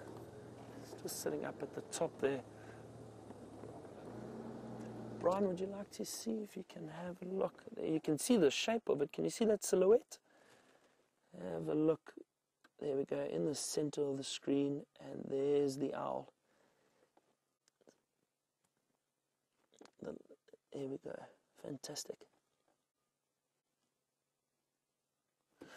Um, wow, so a lot's been going on for us this afternoon. Um, just before we bumped into the elephant, I was telling you about one of my favorite bush stories, and uh, and I'm sure you're all sitting on the edge of your seats wondering what happened with the honey badger and the wild dog. Uh, let me just think where I was. So the the honey badger, the one honey badger turned and ran back towards the wild dog that was chasing it, and stood its ground and what it did is it makes like a rattling noise um, as an aggressive sound. What it did was it started making the sound and running at each wild dog as they try to get close to it. The honey badgers also have a, a chemical defense, a spray. It's not, uh, not that different from a skunk. It's just not as pungent as a skunk, but it is, it is quite a strong smell. And predators don't like getting that on them. And this honey badger just turned and ran at these wild dogs one by one for about three minutes. And eventually the wild dog couldn't even get close to it. They said, ah, well, they didn't say, but they, I think they thought this is not worth it. This, this honey badger means business. We're not going to, we're not going to be lucky here. And the wild dog turned and ran off, and the honey badger turned and went and met, met up with, um, with its partner that it was with, or, um, or the two of them, and then just moved off and disappeared into the thicket. But I've heard of many stories uh, of how tenacious and uh, and and aggressive honey badgers can be, and that was a perfect example. Just not afraid of them. Decided it's been chased enough, turned around, chased the wild dog off, and carried on. It was fantastic. It was really one of my highlights. I think was seeing that. Look at that beautiful bit of sunlight just catching the eagle owl.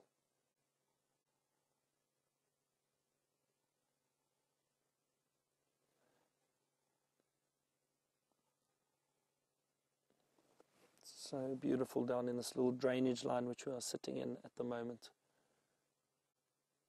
And it's great. And it's great to be able to see see this bird. Really, really very happy about that. Well, I think why don't we leave these owls now? Let them rest, not disturb them anymore. They, they seem comfortable, but let's leave them. I think why don't we go get an update from James about those alarm calls, if he had any further luck, or see what else he has for us.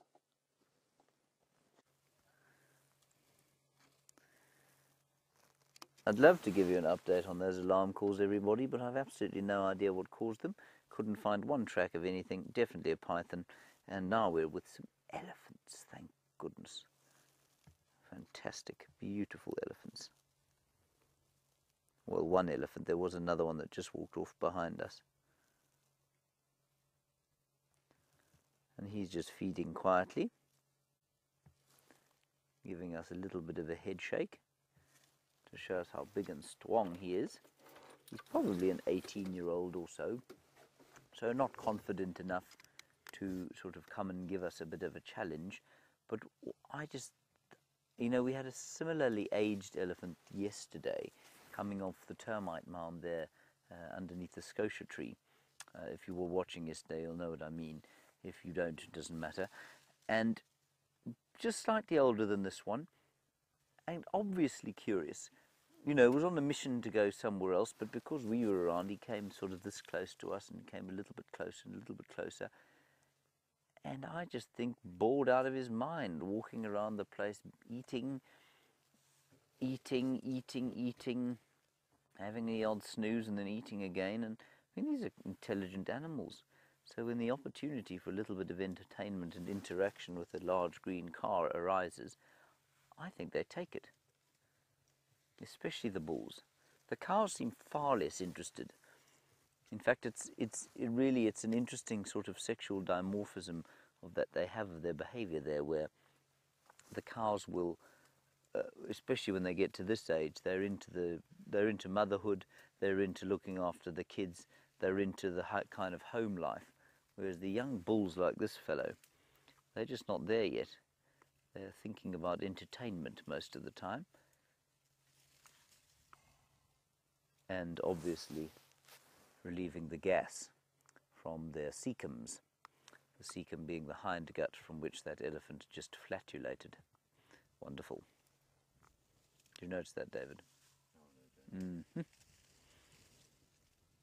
of course, if you're going to eat vegetables all the time, and you have a whole lot of bacteria helping you digest those vegetables, well, you're going to produce quite a lot of gas. And you know that the cattle kept in the world apparently produce more methane, more greenhouse gas than do all of the vehicles, all the cars constantly belching, and the elephant comes out the other end because the, it's a hind gut fermenter.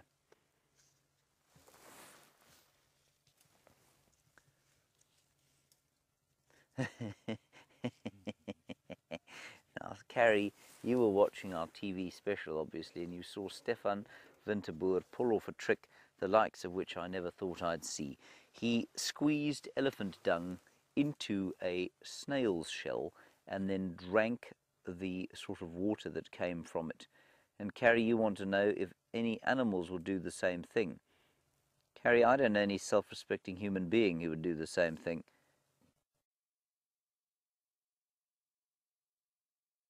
But I do know that animals do absolutely eat. They do certainly eat. Um, they certainly eat elephant dung. Hippo will eat elephant dung. Normally when it's dry though, normally not when it's when it's wet like that. So I don't think they do it for the water.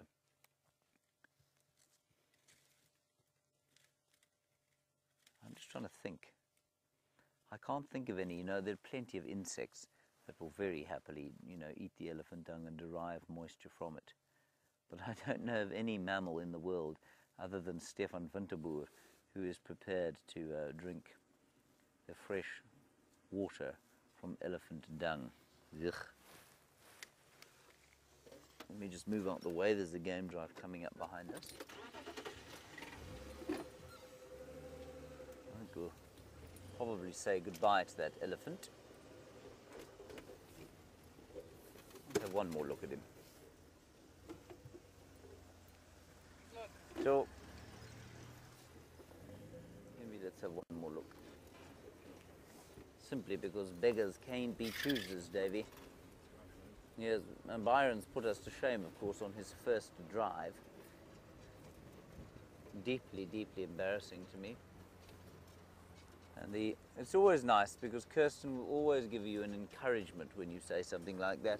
She'll always say something kind like, no, don't worry, he hasn't. We all have bad days. In fact, that's not what she said. She said, absolutely, he has. I tell you what, you've got to have a, you've got to have a very thick skin to live in this place. Of course, when she finds a brown house snake in her bed tonight, well, then we'll see who's laughing.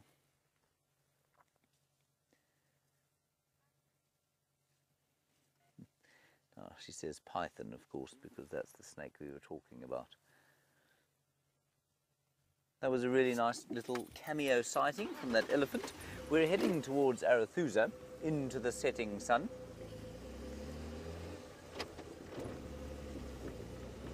Kim Kim, that's a nice name. You want to see the sunset? We can certainly, and we're actually in a pretty good place. I'm just going to pull slightly onto Djuma again, and then we'll get a really nice view of where the sun's going down. It's just up ahead, quickly before Byron finds a great plethora of wild dogs killing uh, kudus and elephants and that sort of thing.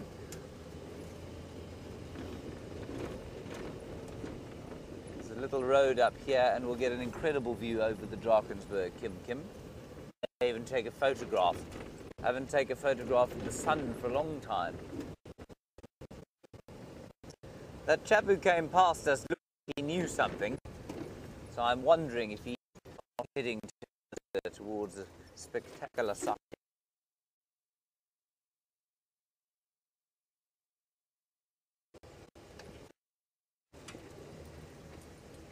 There's the disaster. We're back. Hello everybody, sorry about that, don't know what happened.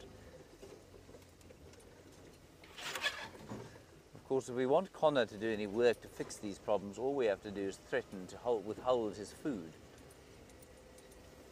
Although leaner than a junkyard dog, uh, he does eat an astonishing amount of food. Now there we have the sunset going down, obviously.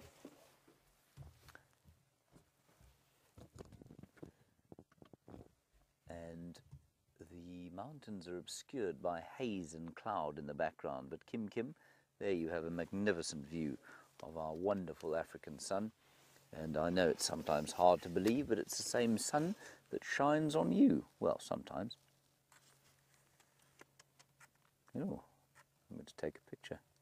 It'll be amazing.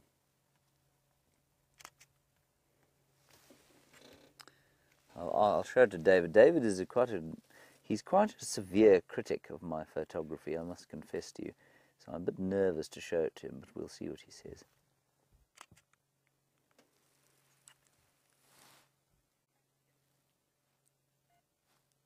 What do you think, David?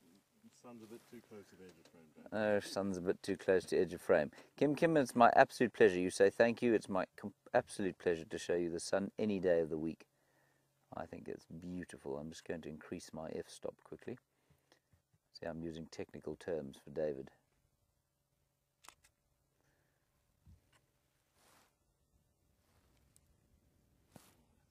Oh, there we go. Now he's being kind, unlike Kirsten McLennan Smith, who's been very nasty all afternoon. Okay, let's head to Arathusa. I've been saying that like a stuck record for some time now. This time I really mean it.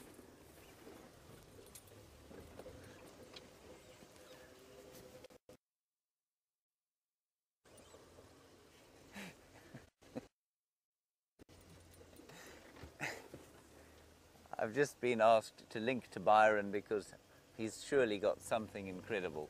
Go and find out what that is.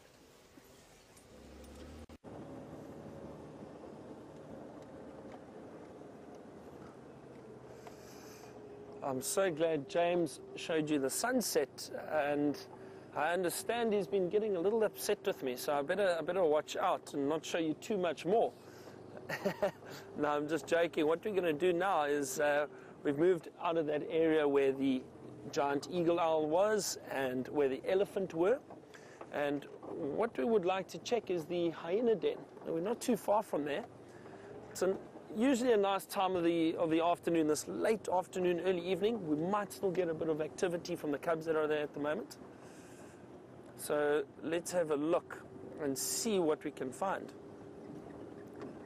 I'm hoping they are out. I know James did go past there this morning, and there were adults and with uh, the the youngsters that I think are about six months old, but no no luck with the with the really little ones. So hopefully we have a bit of luck this afternoon. But then I'm going to ask you not to tell James.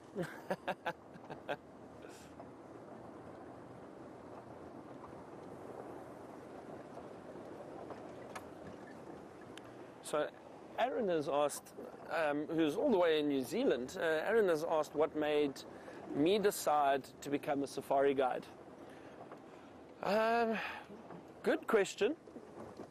I um, so Aaron, I grew up. So I'm from South Africa, born and bred, and grew up going on safaris with my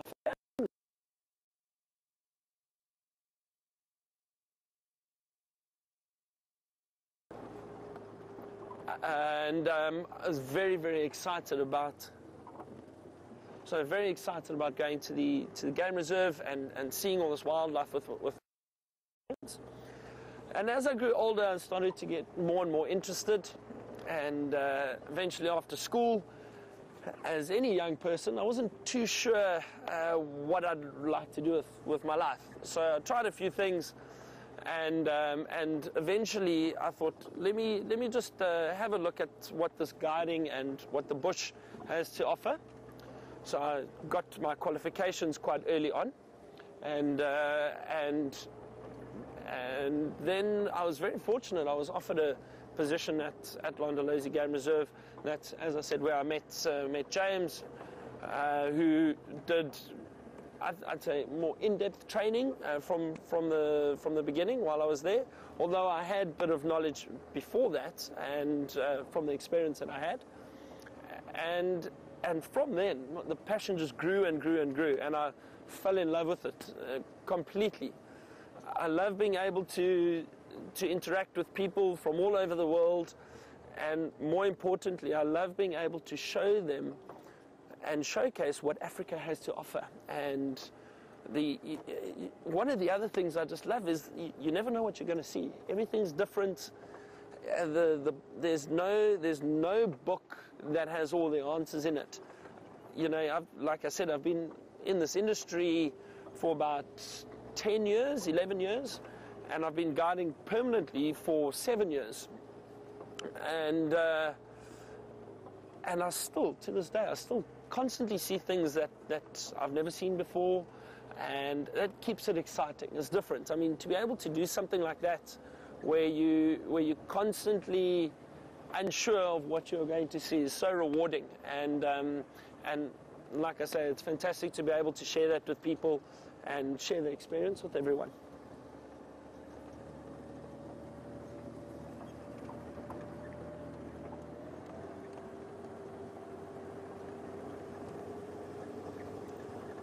Still heading off towards that hyena den.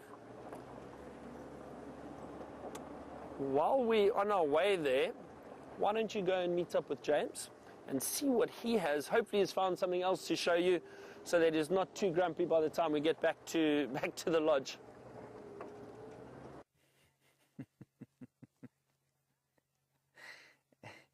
I'll try not to be too grumpy when we get back to the lodge.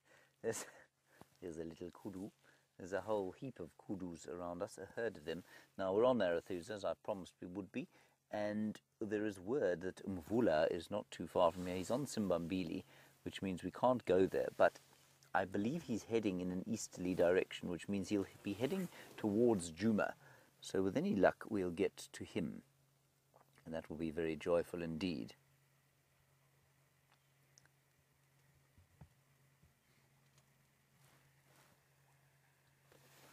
There's also lion around, but also at the same place. Beautiful kudu, this one looking at us. Look at her.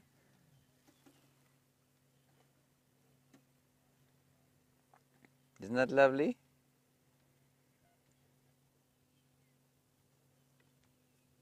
Beautiful.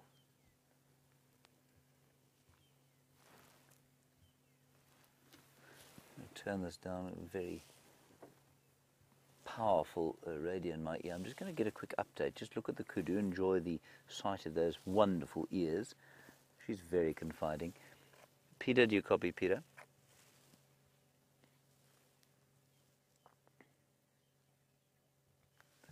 Sorry, last station, I can copy you. Won't you just give me the location of the Mvula sighting again, please?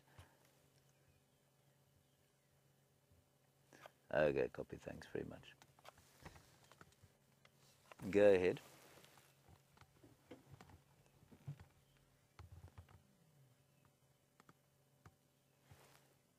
Sorry, double transmission there. Sorry, guys, I'm just trying to figure out what's going on here. Okay, let's carry on. So Mvula is at One-Eye Pan, which is just, I have been there by mistake a few times, uh, so we won't go there on purpose.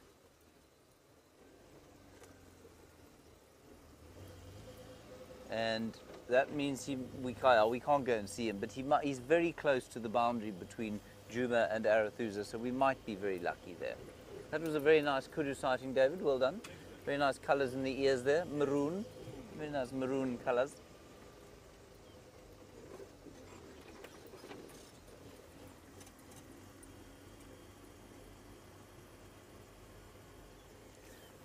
Aqua, that's very cool. You say you've abandoned your bird list and you're starting to keep a leopard list, and so far you have 15 leopards, including cubs. I'm going to try and name them. I'm assuming you've got Karula, George, and Charlotte. You've probably watched the TV special, so you've got Shadow and Sindile, and I'm going to, I'm going to call uh, Shadow's daughter Zara. You can figure out why I'm calling her Zara. Uh, so that's six. You've probably got Tingana, you've probably got Nkanyeni, you've probably, the 15 leopards is a lot of leopards. Maybe Nkanyeni's two cubs, maybe. Tandi, Mvula, Gajima, maybe. Who else? That's, oh, yes, Quarantine. And maybe Kunyuma, but those are the only 15 that I can think of. Still, very impressive. Aqua, tell me if I've got any wrong there. Maybe they're not only safari live leopards.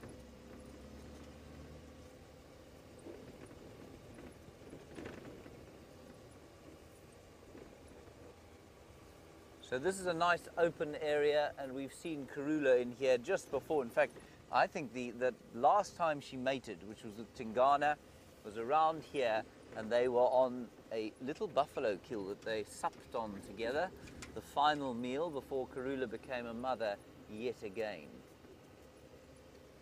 That was a very pleasant experience.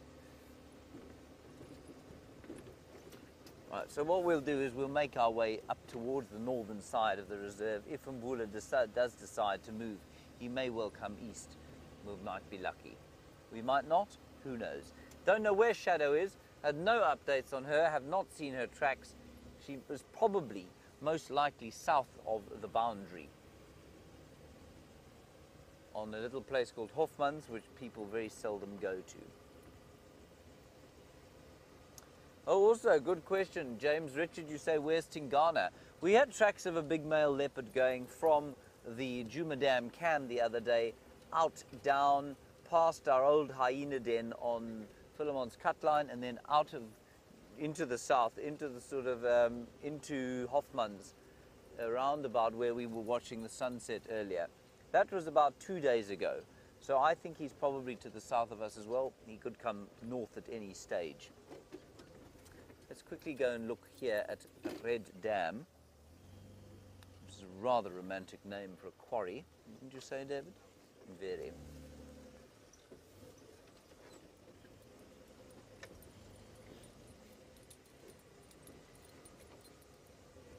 Ah, and Whitney and Rocky Knight, you say, did I mention the Anderson male? I did not, so he could be. Although we've only ever seen him once live, I think. I think we've only ever seen him once live. You could also have had the late um, Quatile.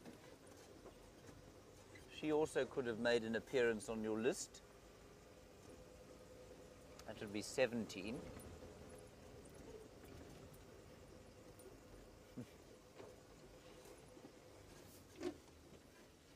I do so. Only safari lies live leopards, so I think we probably had the list there. Gee whiz, I think that's really impressive, Aqua. I suppose you have been watching for a while. Still. I hope we'll be able to add to that list. I'm not, not sure with whom we'll add to it, but Anderson, I suppose, would be a good, a good addition. Has got a bit more time with Shadow and her little one. Ah, we could also have seen Shiluva. Yes, that's right.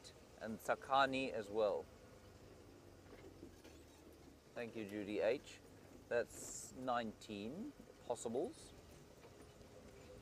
So you've got four more to go so far.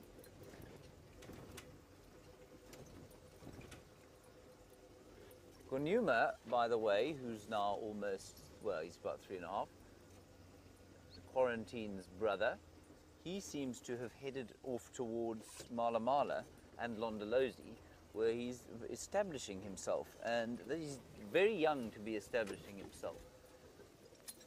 There, everybody, is a delightful sighting of a terrified grey heron. Very unkind of it to fly away like that, I must confess. It makes me very cross indeed. You got him. Brilliant, David. Why is he behind a tree? Let me move.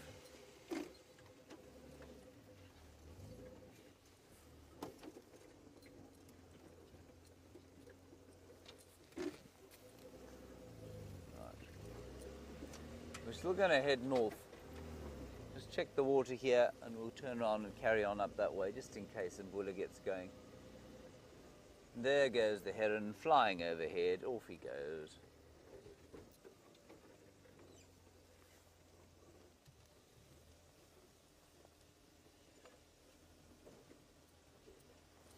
We have a question from someone called Chunky Maggot. Oh, not oh, Nugget. Oh, oh, that's much better. So not not not chunky fly larvae. No, nugget, as in as in pleasant thing. Okay, right. Chunky nugget. Very good. Very good. You want to know what the largest bird we get here is? Chunky nugget. Um, the largest bird possible to get here is an ostrich, of course. We get them on cheetah plains, the world's largest bird. I'm not sure that you were thinking of that sort of bird. You're probably thinking more along the lines of a standard issue bird. The next biggest would probably be a Cape vulture, which can weigh in at up to 15 kilograms, which is about, well, 40 pounds or so, so that's an enormous bird. And then, if you're really lucky, you might see a Kori bustard, which can grow up to 19 kilograms, which I've never seen them here. But they, in theory, they would occur here. So it looks like an enormous sort of ground-dwelling bird, but they can fly. So those would be the two biggest. And the wingspan of the Cape Vulture, I guess, would be about two and a half meters. Let me check that for you while we're driving, because it really is. I mean, two and a half meters is is about uh, seven and a half feet. Let me just quickly check. V for vulture. Search vulture. I shouldn't do. Don't do this while you're driving in town, everybody. Uh, okay, vulture. Faces alike. It doesn't say, you know.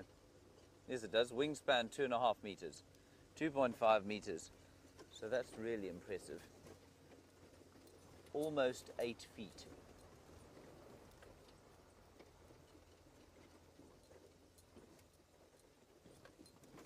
see what else we can find down here. David, are you getting cold? David is putting on his scarf, everyone. It is amazing how the temperature drops as soon as the sun pops below the horizon. My luck continues to shower down on us all. Yes. Amy, a very nice question from you. You say you haven't seen any giraffe lately, nor have I, clearly. And you say, do they migrate for the winter? No, they don't, Amy. They don't migrate, but they do move. They're nomadic. They're, they're not. Uh, they hardly have a home range. They're hardly. Ha- they definitely are not territorial at all. There was some seen on Buffelshoek today, around one of the water holes, but they don't migrate. They will move from area to area, and one of the reasons for that is that they they choose often acacia trees like this big knobthorn that we're driving past now, and because of that, the knobthorns produ- they talk to each other. They produce a pheromone, and that pheromone, uh, well, the first thing they do if they're bitten and if they're eaten from is, is increase the amount of tannin in the leaves. Then they produce a pheromone which other trees of the same species will pick up on. And so even if they're not being attacked, they too will increase the pheromone, the tannin levels in the leaves. So what happens is that you eventually have an area where all the leaves are almost inedible as the giraffe has moved around. And that's why you'll never see a giraffe going from tree to tree. And I suspect that their nomadic nature is brought on. Uh, sorry, just listening there um, to an update on Mvula. And so you can imagine that their nomadic nature is probably driven by the fact that they make the trees in, in an area completely unpalatable. They must go somewhere else, eat for a while, and then they'll come back into an area. I think that's probably what happens.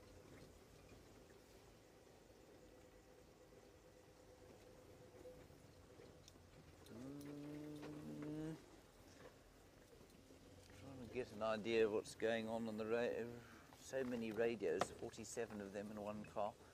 Not easy. There we go. Doesn't look like Mvula's moving yet, I'm afraid. Let's not fall into that hole there, David. That would be very unpleasant. I like how I handed responsibility for that over to you, despite the fact that you have absolutely no power to control it or not.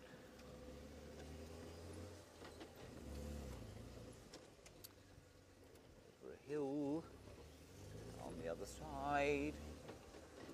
Must be an animal here somewhere. Right, Byron is about to arrive at the hyena den. As much as I'll be jealous if there are any hyenas there, I hope for your sake that there are. Go and have a look.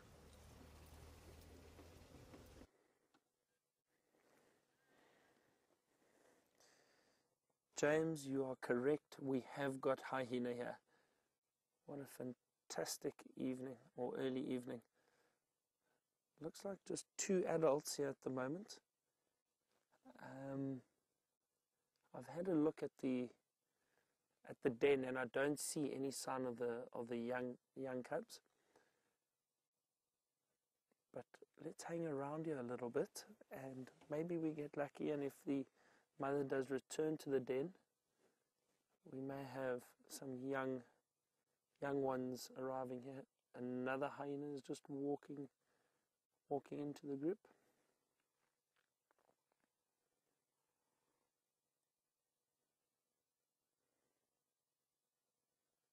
They are amazing animals. Just have a look at the size of that neck and, and the and the head. They're very, very interesting predators. Very powerful, powerful jaws. Oh dear.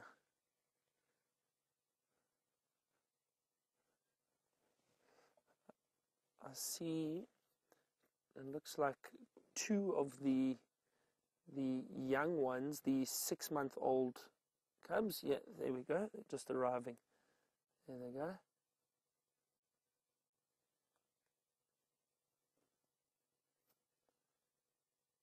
Fantastic. They, they're amazing animals. There- There's always interaction between a hyena. At least we're getting some movement from these adults now. Maybe we're lucky and they go towards the den and we get a sight of the young ones. Just wait and see if they do head towards there. Then I'll try and move a little bit closer. That one is moving off in that direction now.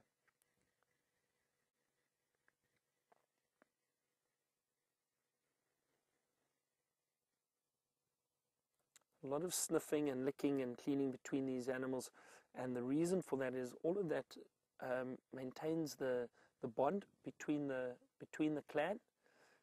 Oh, there's a big yawn from this one that just got up on the left, and a stretch. So that that sniffing, cleaning, a lot of the predators do it with the young. They maintain the bond. They get used to each other's scent. I'm going to move. I can just hear the other adult making a bit of a noise at the den. Let's go have a look there quickly.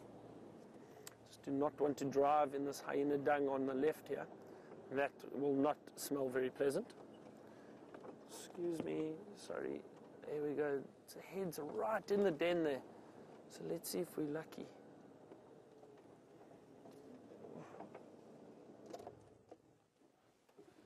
Okay. Oh, listen to that. Listen to the vocalizations coming from.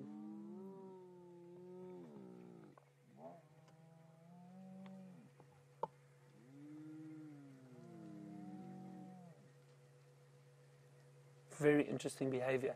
And I am guessing that they are possibly calling the, the, the, the cubs. Let's see if they do come out or if there's any sign of them. Nothing yet, just the adults at the entrance. See again, sniffing and smelling each other, even with the, within the adults.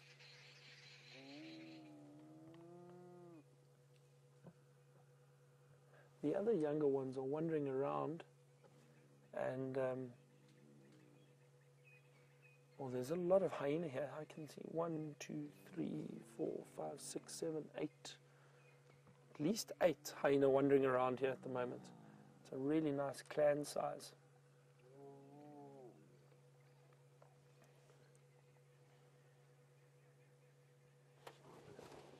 Uh, Give me two seconds. I just want to try and move a little bit further for us. Let's keep watching that den. There we go. Okay. This is a good spot. If those cubs do stick their heads out, we'll, we should get a view of them.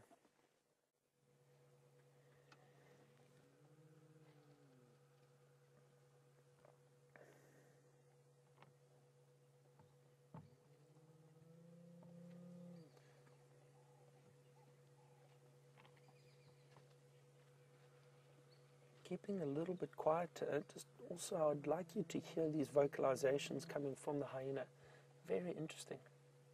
I have read that they've got they've got up to 16 different calls. Um, some people have said that they have recorded more. So it'd be interesting, and maybe one of our viewers could try and look it up and, and let me know what a general consensus is on the amount of calls that a hyena has.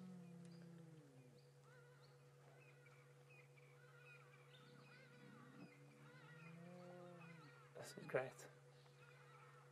So I actually arrived in this area last night and heard quite a few hyena calling. Such an amazing sound.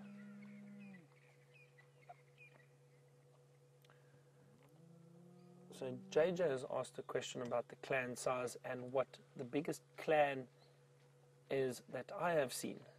And JJ, to be honest, with the amount of hyena walking around, I think this is possibly it that I have seen. I have seen many hyena den uh, in my days of guiding in different areas. Um, generally, the most I've seen are between are between six and eight. So this one, with these eight that I've seen walking around here, plus the cubs in the den, this is probably one of the largest that I have seen. But I have heard of clans um, numbers um, much more than that. Listen to that sound.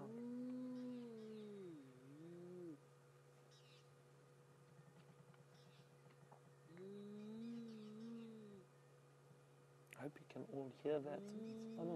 It's not a, not a full call. They do that uh, whooping sound when they do territorial calling or, or general communication amongst the clans. And they've also got that that laugh, and in some areas people refer to them as the laughing hyena.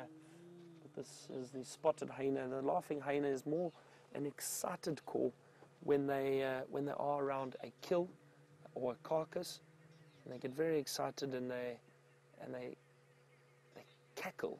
It's a very strange strange sound. My voice is terrible, so I would I can't even hazard a, a try at, at the call. But the whooping sound, that's a wonderful sound. It's that whoop, whoop. Very, very interesting sound. Amazing, amazing call. And what they do is, as they're doing this call, they'll, they'll call facing down. So what it does is it causes the sound to, to bounce off the ground and hopefully travel further and carry that sound a little bit further. You would think just by lifting the head up into the air that it would travel further, but apparently the sound resonating off the off the ground gives it further distance and and a little bit more volume. I think a lot of these adults may start moving off now, possibly going to scavenge for the evening.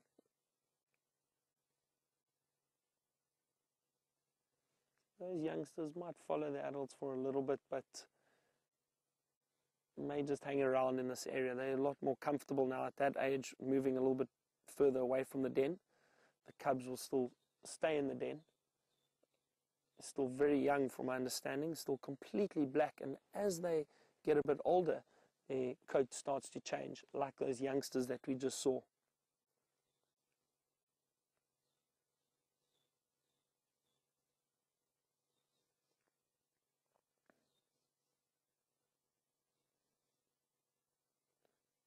Fascinating. Also, very, very well camouflaged.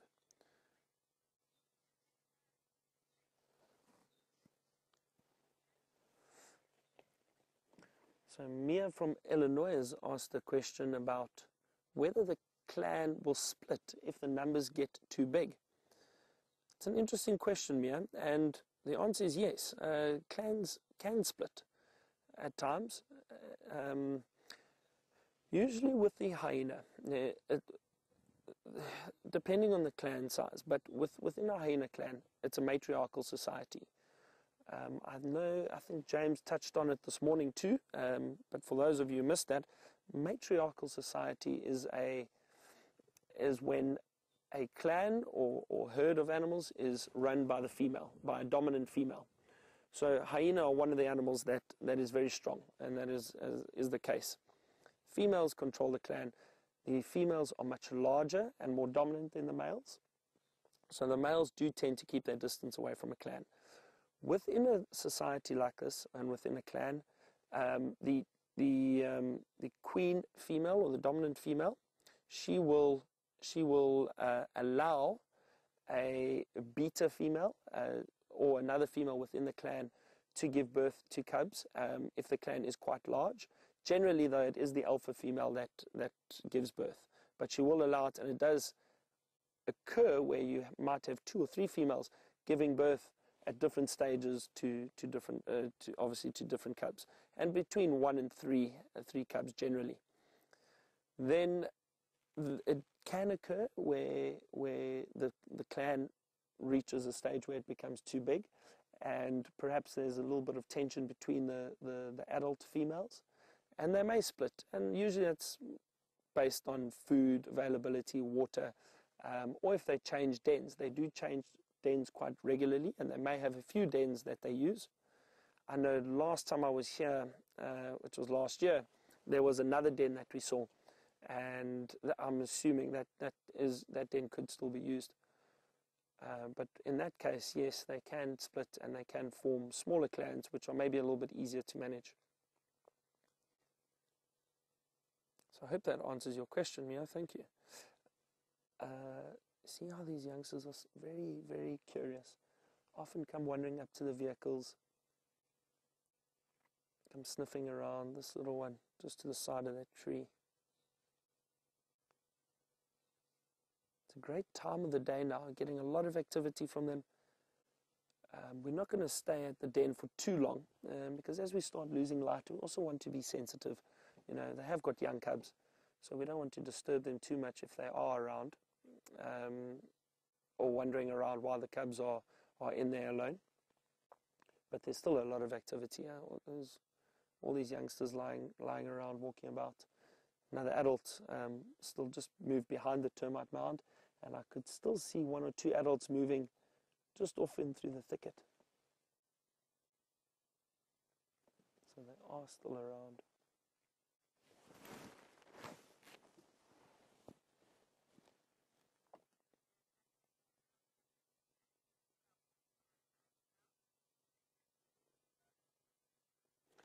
I understand one of the viewers has seen uh, from one of our cameras set up at the waterhole that there is a hyena drinking at the Djuma waterhole, which is great. Um, hyena do drink uh, water quite quite regularly. I've often seen them um, wandering into a specific area uh, to go to go and look for for water. And what they often do is they, they go and put their whole body in the waterhole and and lie in the water for, for a short period of time while they are drinking, and then uh, and then continue on their way again, even in winter, which is quite strange behavior. But they, they, they're not afraid of water, from what I've seen. It's often little pans and wallows that they do that in the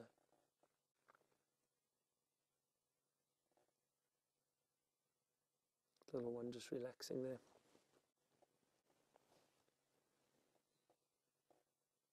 I'm sure with all these hyena around, we'll probably have quite a bit of vocalization again this evening. May hear them from the camp.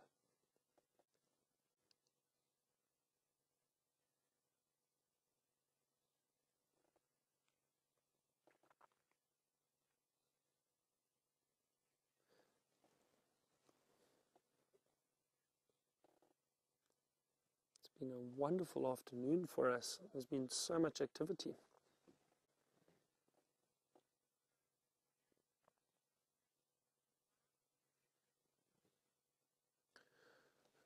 So Elizabeth has just asked a question about the clans and the splitting of clans, um, and whether or not those clans will tolerate each other, um, or if they will inevitably become aggressive towards each other.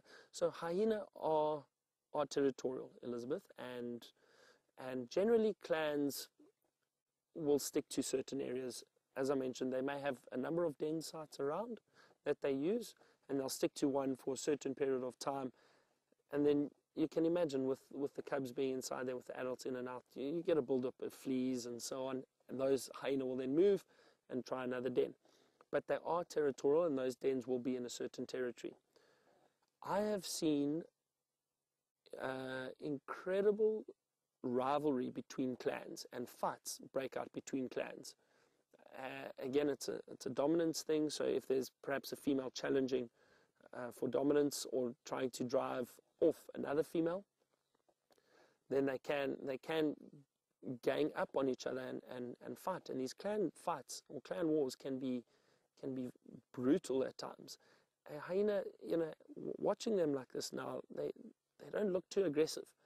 But you need to remember how powerful those jaws are. These hyena have the most powerful jaws out of any predator in this area. They've got incredible crushing power.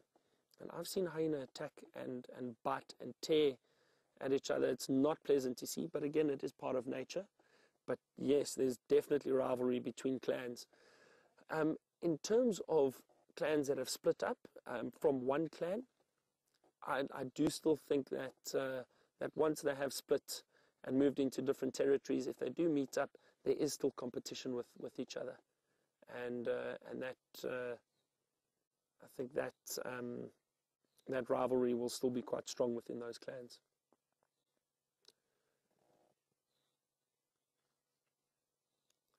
But again, that um, you know, there's no set rule or or answer to that. But thank you, Elizabeth. That's a interesting question, and uh, and is something that, you know, in my experience, what I've seen, that's the behaviour I've noticed but it's not always a set, set rule. It's now getting a bit dark, so we're going to leave these hyena, let them rest for the evening. Those adults have moved off, probably going to scavenge.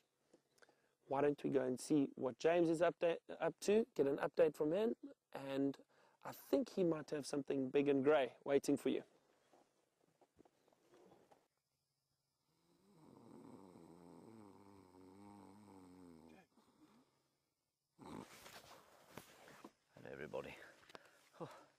Sorry, it was just so long. There's an elephant, a very large one over there. Now we've come, we're still waiting kind of where you left us actually. And the reason we stopped here was because of these elephants. That big bull was sort of coming through the bushes out. But also because there was a giraffe around here. And we had that question about where the giraffes are. Let's just wait for the, he, I think he may have wandered off through there unfortunately. But there is a giraffe around here. So Amy, there are giraffe around. Well, there was a giraffe around. it has gone. All right, let's go forward. We're not going to shine a light on any of the animals here. Oh. Sure. I had to start the car. It played a funny joke on me and didn't start. Now, the giraffe was here not a minute ago. Oh, that's a pity. Anyway, was just one fella on his own. Oh, there he is. He's up ahead there. We'll leave the Ellies because it's just getting a bit dark for them. There we go. You see him, Dave? Ah, there. We won't shine on him. And Mvula, I'm afraid, has stayed in exactly the same place that he is. They've got Mvula there. They've got a herd of buffalo. They've also got two lionesses in the same position. Oh, look at his horn. Oh, bad luck. He now knows he's on TV, so he's a bit embarrassed about his mangled right horn. And listen to that, the sound of summer. You can hear some cicadas calling. Utterly bizarre for this time of the year.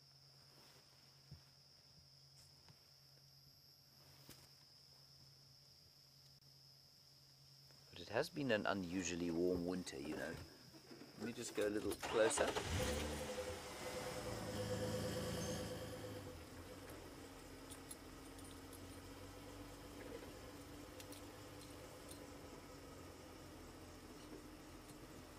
Just go around the corner here. He might be kind enough to stop and let us look at him. Hello.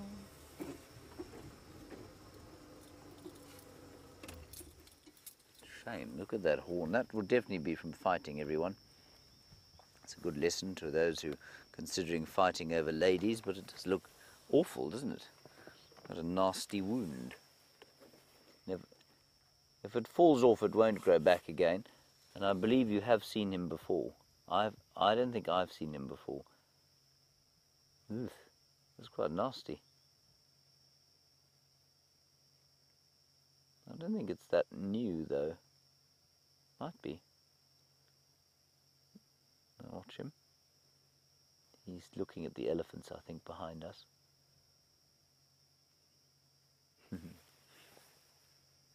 now, I was just reading about giraffe while you were away, actually. I had a, it's a long time to have a bit of a read up about giraffe. And um, I found out that what they do, Amy, you were asking about them, they don't eat. Apparently, they eat sort of half the amount that a browser or grazer of similar size would eat normally. And that's because they're quite selective about which shoots they eat. They'll eat sort of fresh twigs as well as just the leaves. And they have such an incredibly efficient digestive system that they will eat half the amount of equivalent animals or animals of equivalent size, which I think is quite amazing. And so they don't have to, like the elephants, sort of devour everything in their wake. I know your picture is quite red because I think of the, uh, we're probably pushing the colour a bit, but the giraffe's colour matches so beautifully the golden browns of the winter vegetation, which is now rustling in an evening breeze. I've just heard that Mvula actually has a kill, so he's not going to come anywhere near us. But at least we came up here and saw a giraffe, some elephants, had a snooze, read about giraffes. And I'm so glad all the hyenas were at the den. I really think that's marvellous. So I was a little worried when we went there today that maybe only, you know, a few of them had come across. It seems like everyone is there.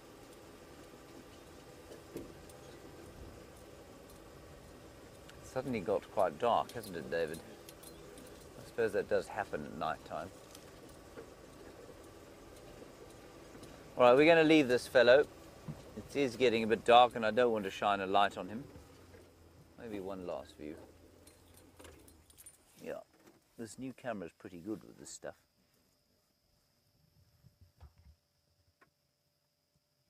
So that's much brighter than the picture I can see of him.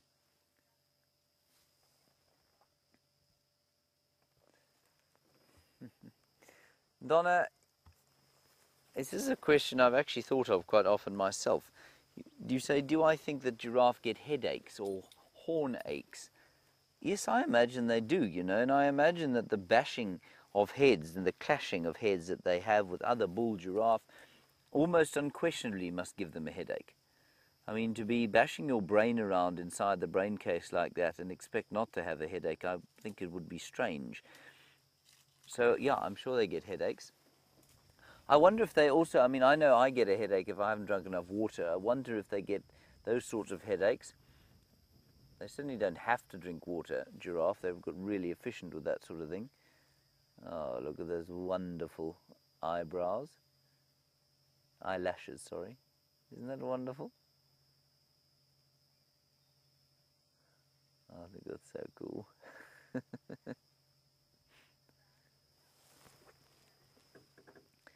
Janet, nice one from you. Can giraffe jump? Okay, well, now, I mean, strictly, I don't know that you'd ever find them in, in the show jumping ring, for example, but strictly speaking, yes, they can jump. Remember that an animal that can't jump must, the only mammal that can't jump is a, oh, he's now ruminating, is an elephant. And if you can run, okay, now you know, you remember uh, running, um, I don't know if you still run, maybe you still run and if you run, you leave the ground, right? You don't, there's always a, a time at which, or only one foot is, is in contact with the ground, then it isn't, and then you're sort of flying through the air, and then the next foot is in contact with the ground. If you, that's jumping, you're basically jumping. And an elephant can't do that. It power walks, it must keep some of its legs on the ground all the time. A giraffe canters in much the same way that a horse does, and so it has at some stage got all four feet off the ground. And that would be the strict definition of running and not running. So yes, absolutely, at least of, yes, of running. So absolutely they can jump, yes. Now, I don't think they're particularly good jumpers, but they can certainly jump. The best jumpers out here, I think, are the Nyala and the Kudu. They really are quite fantastic at it. Right, let us shed some light on the situation here.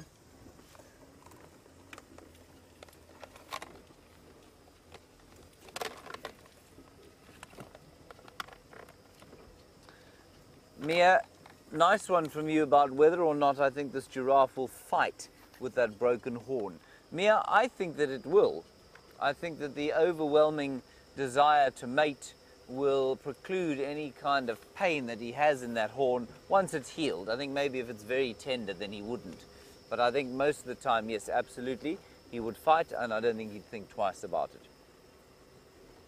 Animals don't tend to worry too much about the pain that they go through. They're not like us. Very, very brave when it comes to that sort of thing. Well, we're not, we're so close to where Mvula is, but I'm afraid he is on his kill. Let's head across to Byron. I've no doubt he's got four leopards and ten owls and possibly a civet or two to show you.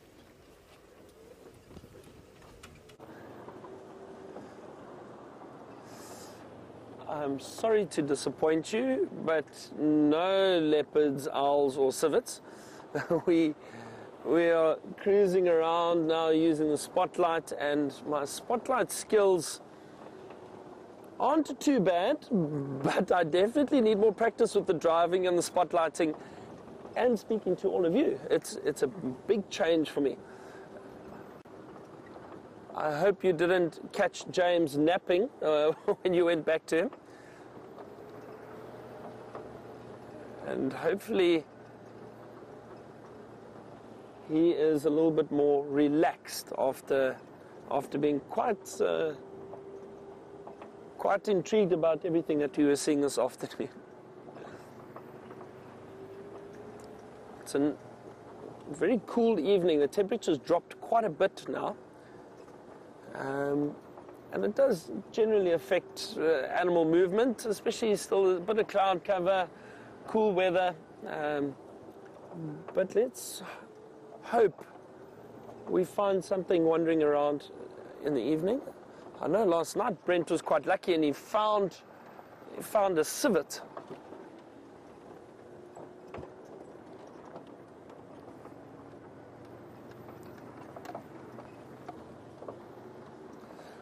James Richard has just asked a question about tracking, and he would like to know if I enjoy tracking and what animal I, I enjoy tracking. So, James Richard, I think tracking is wonderful. It really is. It's a great experience. It's fantastic to do.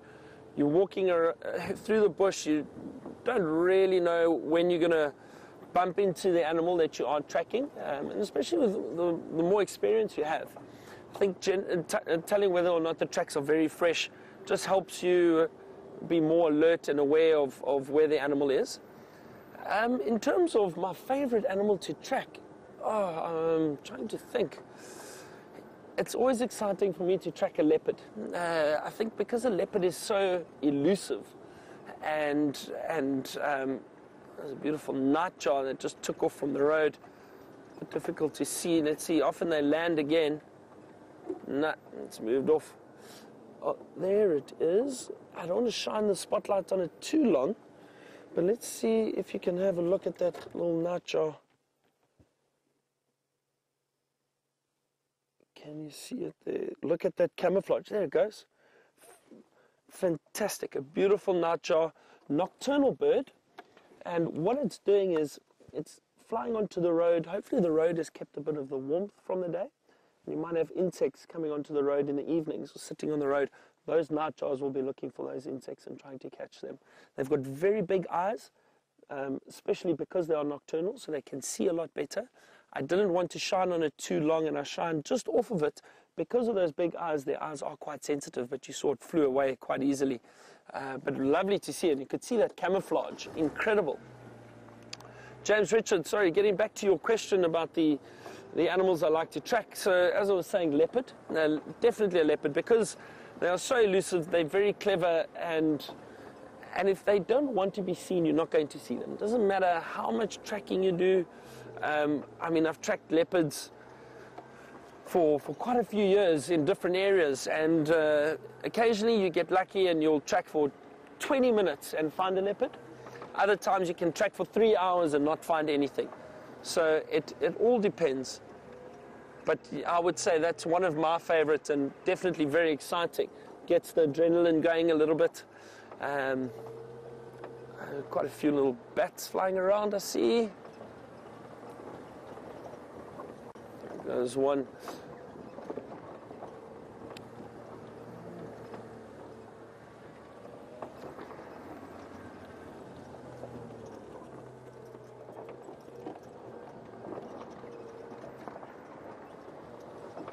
Trying to keep an eye on the road at the same time. But again, with, uh, with a bit of guiding experience, you, you're a bit more comfortable animals and hopefully staying on the road.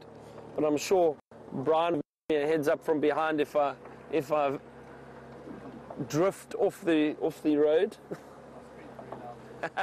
Thank you, Brian. That will that will definitely alert me.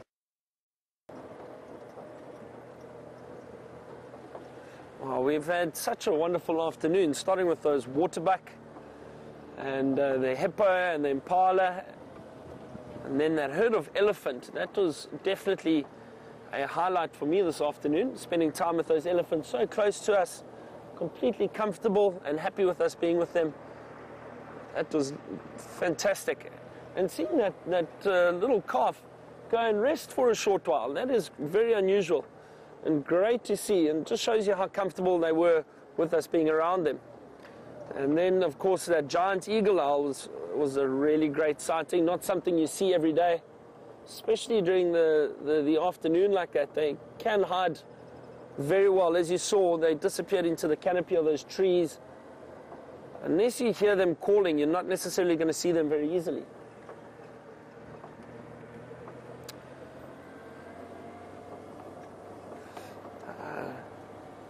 I'm going to continue looking for a civet, just so I've got something to tell James later on.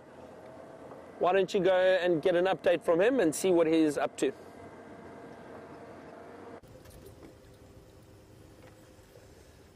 I'm trying a new spotlight technique, everybody. This is called the helicopter. It's about as effective as my normal spotlighting technique. What do you think? You think it's good?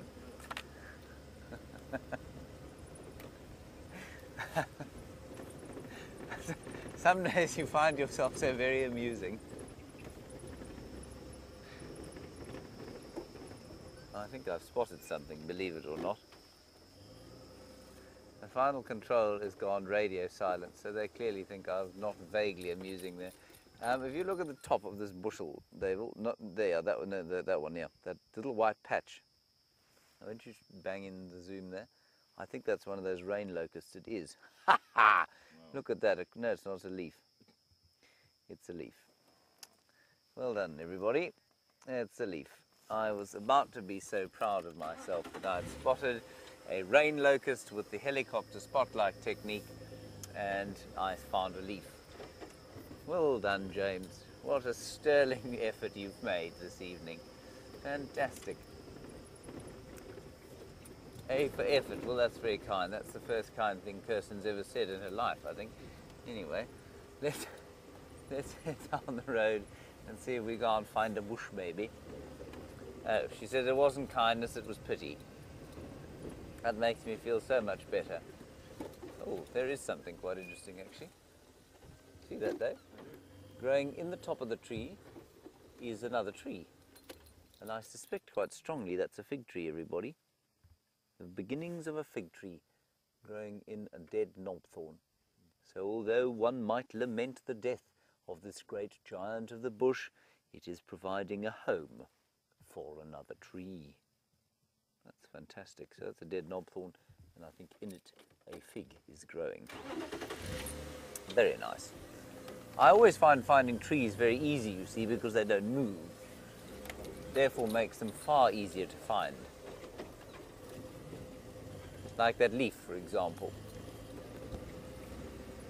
Now we're going towards Sandy Patch, and perhaps in Sandy Patch we will find those jackals. Oh, Byron has found something else to show you.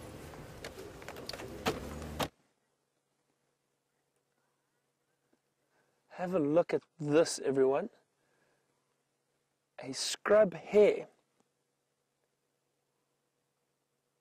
Look at that hiding, just kind of moving very quietly through the long grass. They are nocturnal too, and that's why they come out uh, in early evening, foraging for food. Um, beautiful little scrub hare. They're chewing on little grass seeds that it can find in this clearing. So well hidden. So often, what happens? Oh, hang on. James has just found something that uh, that I think is very interesting, and I'm very jealous. Why don't you quickly go have a look and see what he's got there?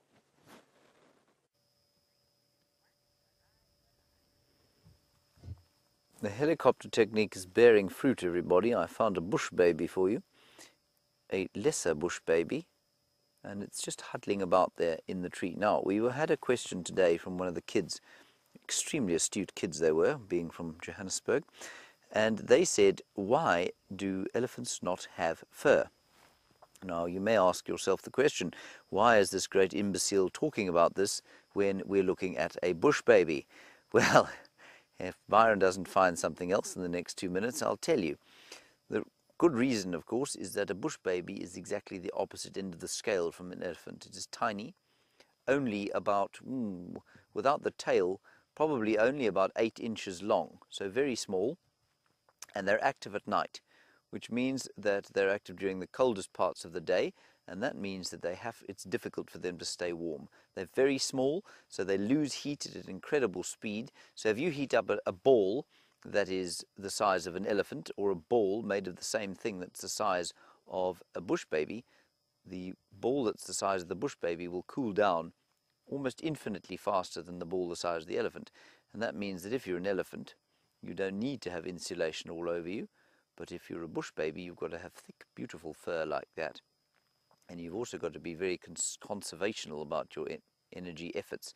And so during the day, they go into this torpor, which is a kind of a, a sleep state. I know some people who go into torpor, uh, but that's normally not a sleep state.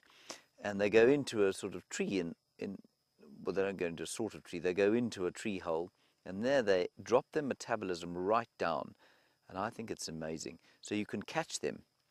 If you find a bush baby nest in the middle of the day and they're all asleep, they can't move. If you pick them up, they can't move. So they've almost got to kind of wind up and get their metabolism going and allow their body temperature to come up to normal again. And then they start that incredible gummy bear not jumping about the place. This one is hoping for some tree gum. He's sitting in a knobthorn tree. Not sure he's going to get any in that particular knobthorn. It looks very dead to me. Still, maybe he's like me, hopeful, hopeful for success.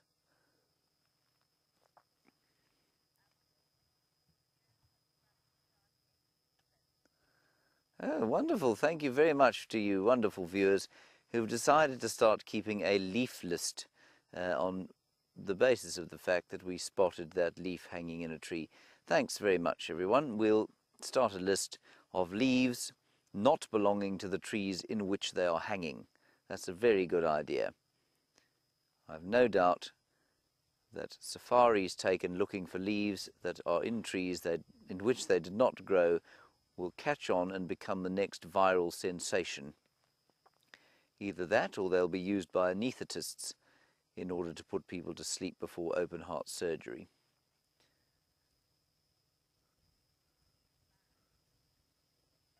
This bush baby looks like it's been pinned to its perch.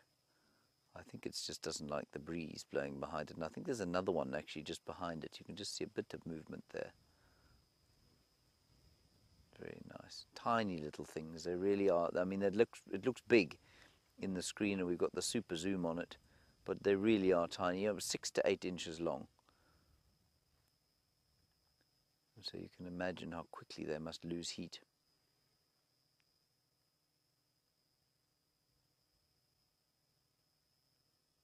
Now it's just starting to kind of get active. They get active very slowly.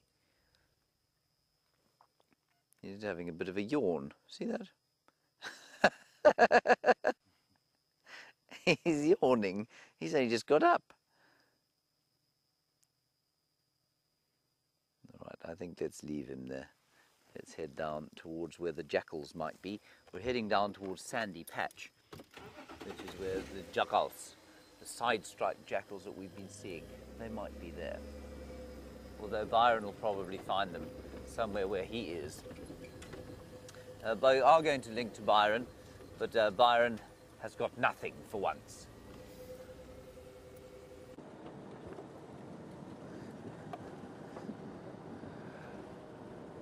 James is correct. I don't have anything for you at the moment. The scrub hare has moved off, but I'm so happy that he was able to show you a bush baby.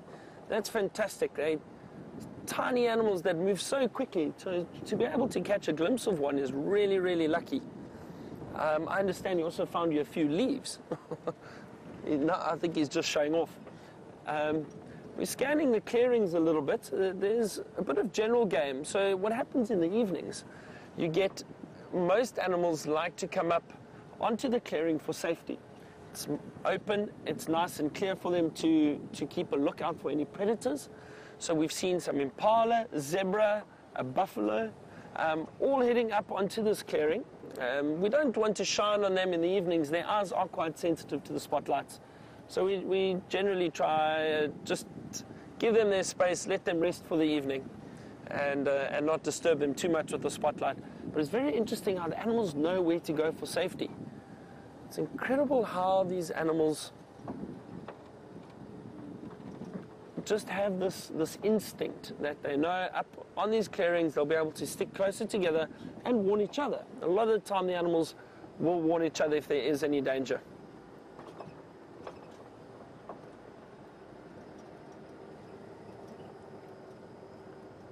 As I mentioned earlier, it's quite a nice cool evening. Temperature has dropped quite a bit, but it's, it's, not, it's not too cold, it's still very pleasant. I'm curious to see if this cloud cover disappears tomorrow morning, and it looks like the cloud cover has disappeared actually, but tomorrow morning could be a lot cooler. When there's little cloud cover, the, the temperature does drop quite a bit. The cloud insulates a bit of the heat from the day and the warmth, so it's much warmer when there is cloud cover.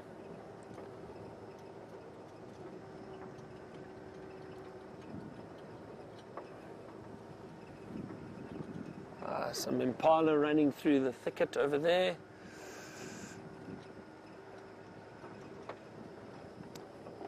Come on, let's find a civet.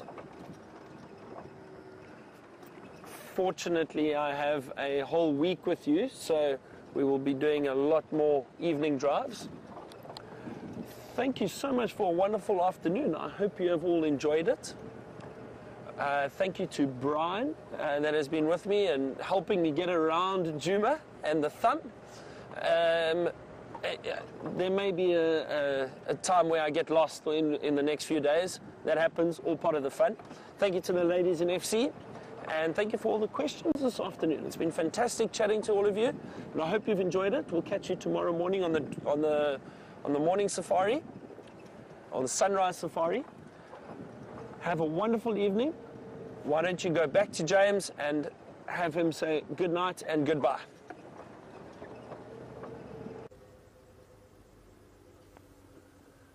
I promised everybody, I just saw a civet. I promise you, I promise you, I promise you. It just went in here. And Dave reckons it's the same one that, you saw last night with Brent. There, there, there. No, that's an impala. Uh, I promise you, it went in here.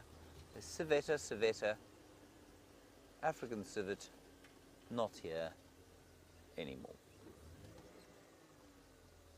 Unless that was it on top of the mound there. No. No, I'm afraid not. But it was here, I promise. No one believes me, do they, David? You believe me. You saw it. Yes, thank you very much. I'm glad you saw it because Kirsten definitely doesn't believe us.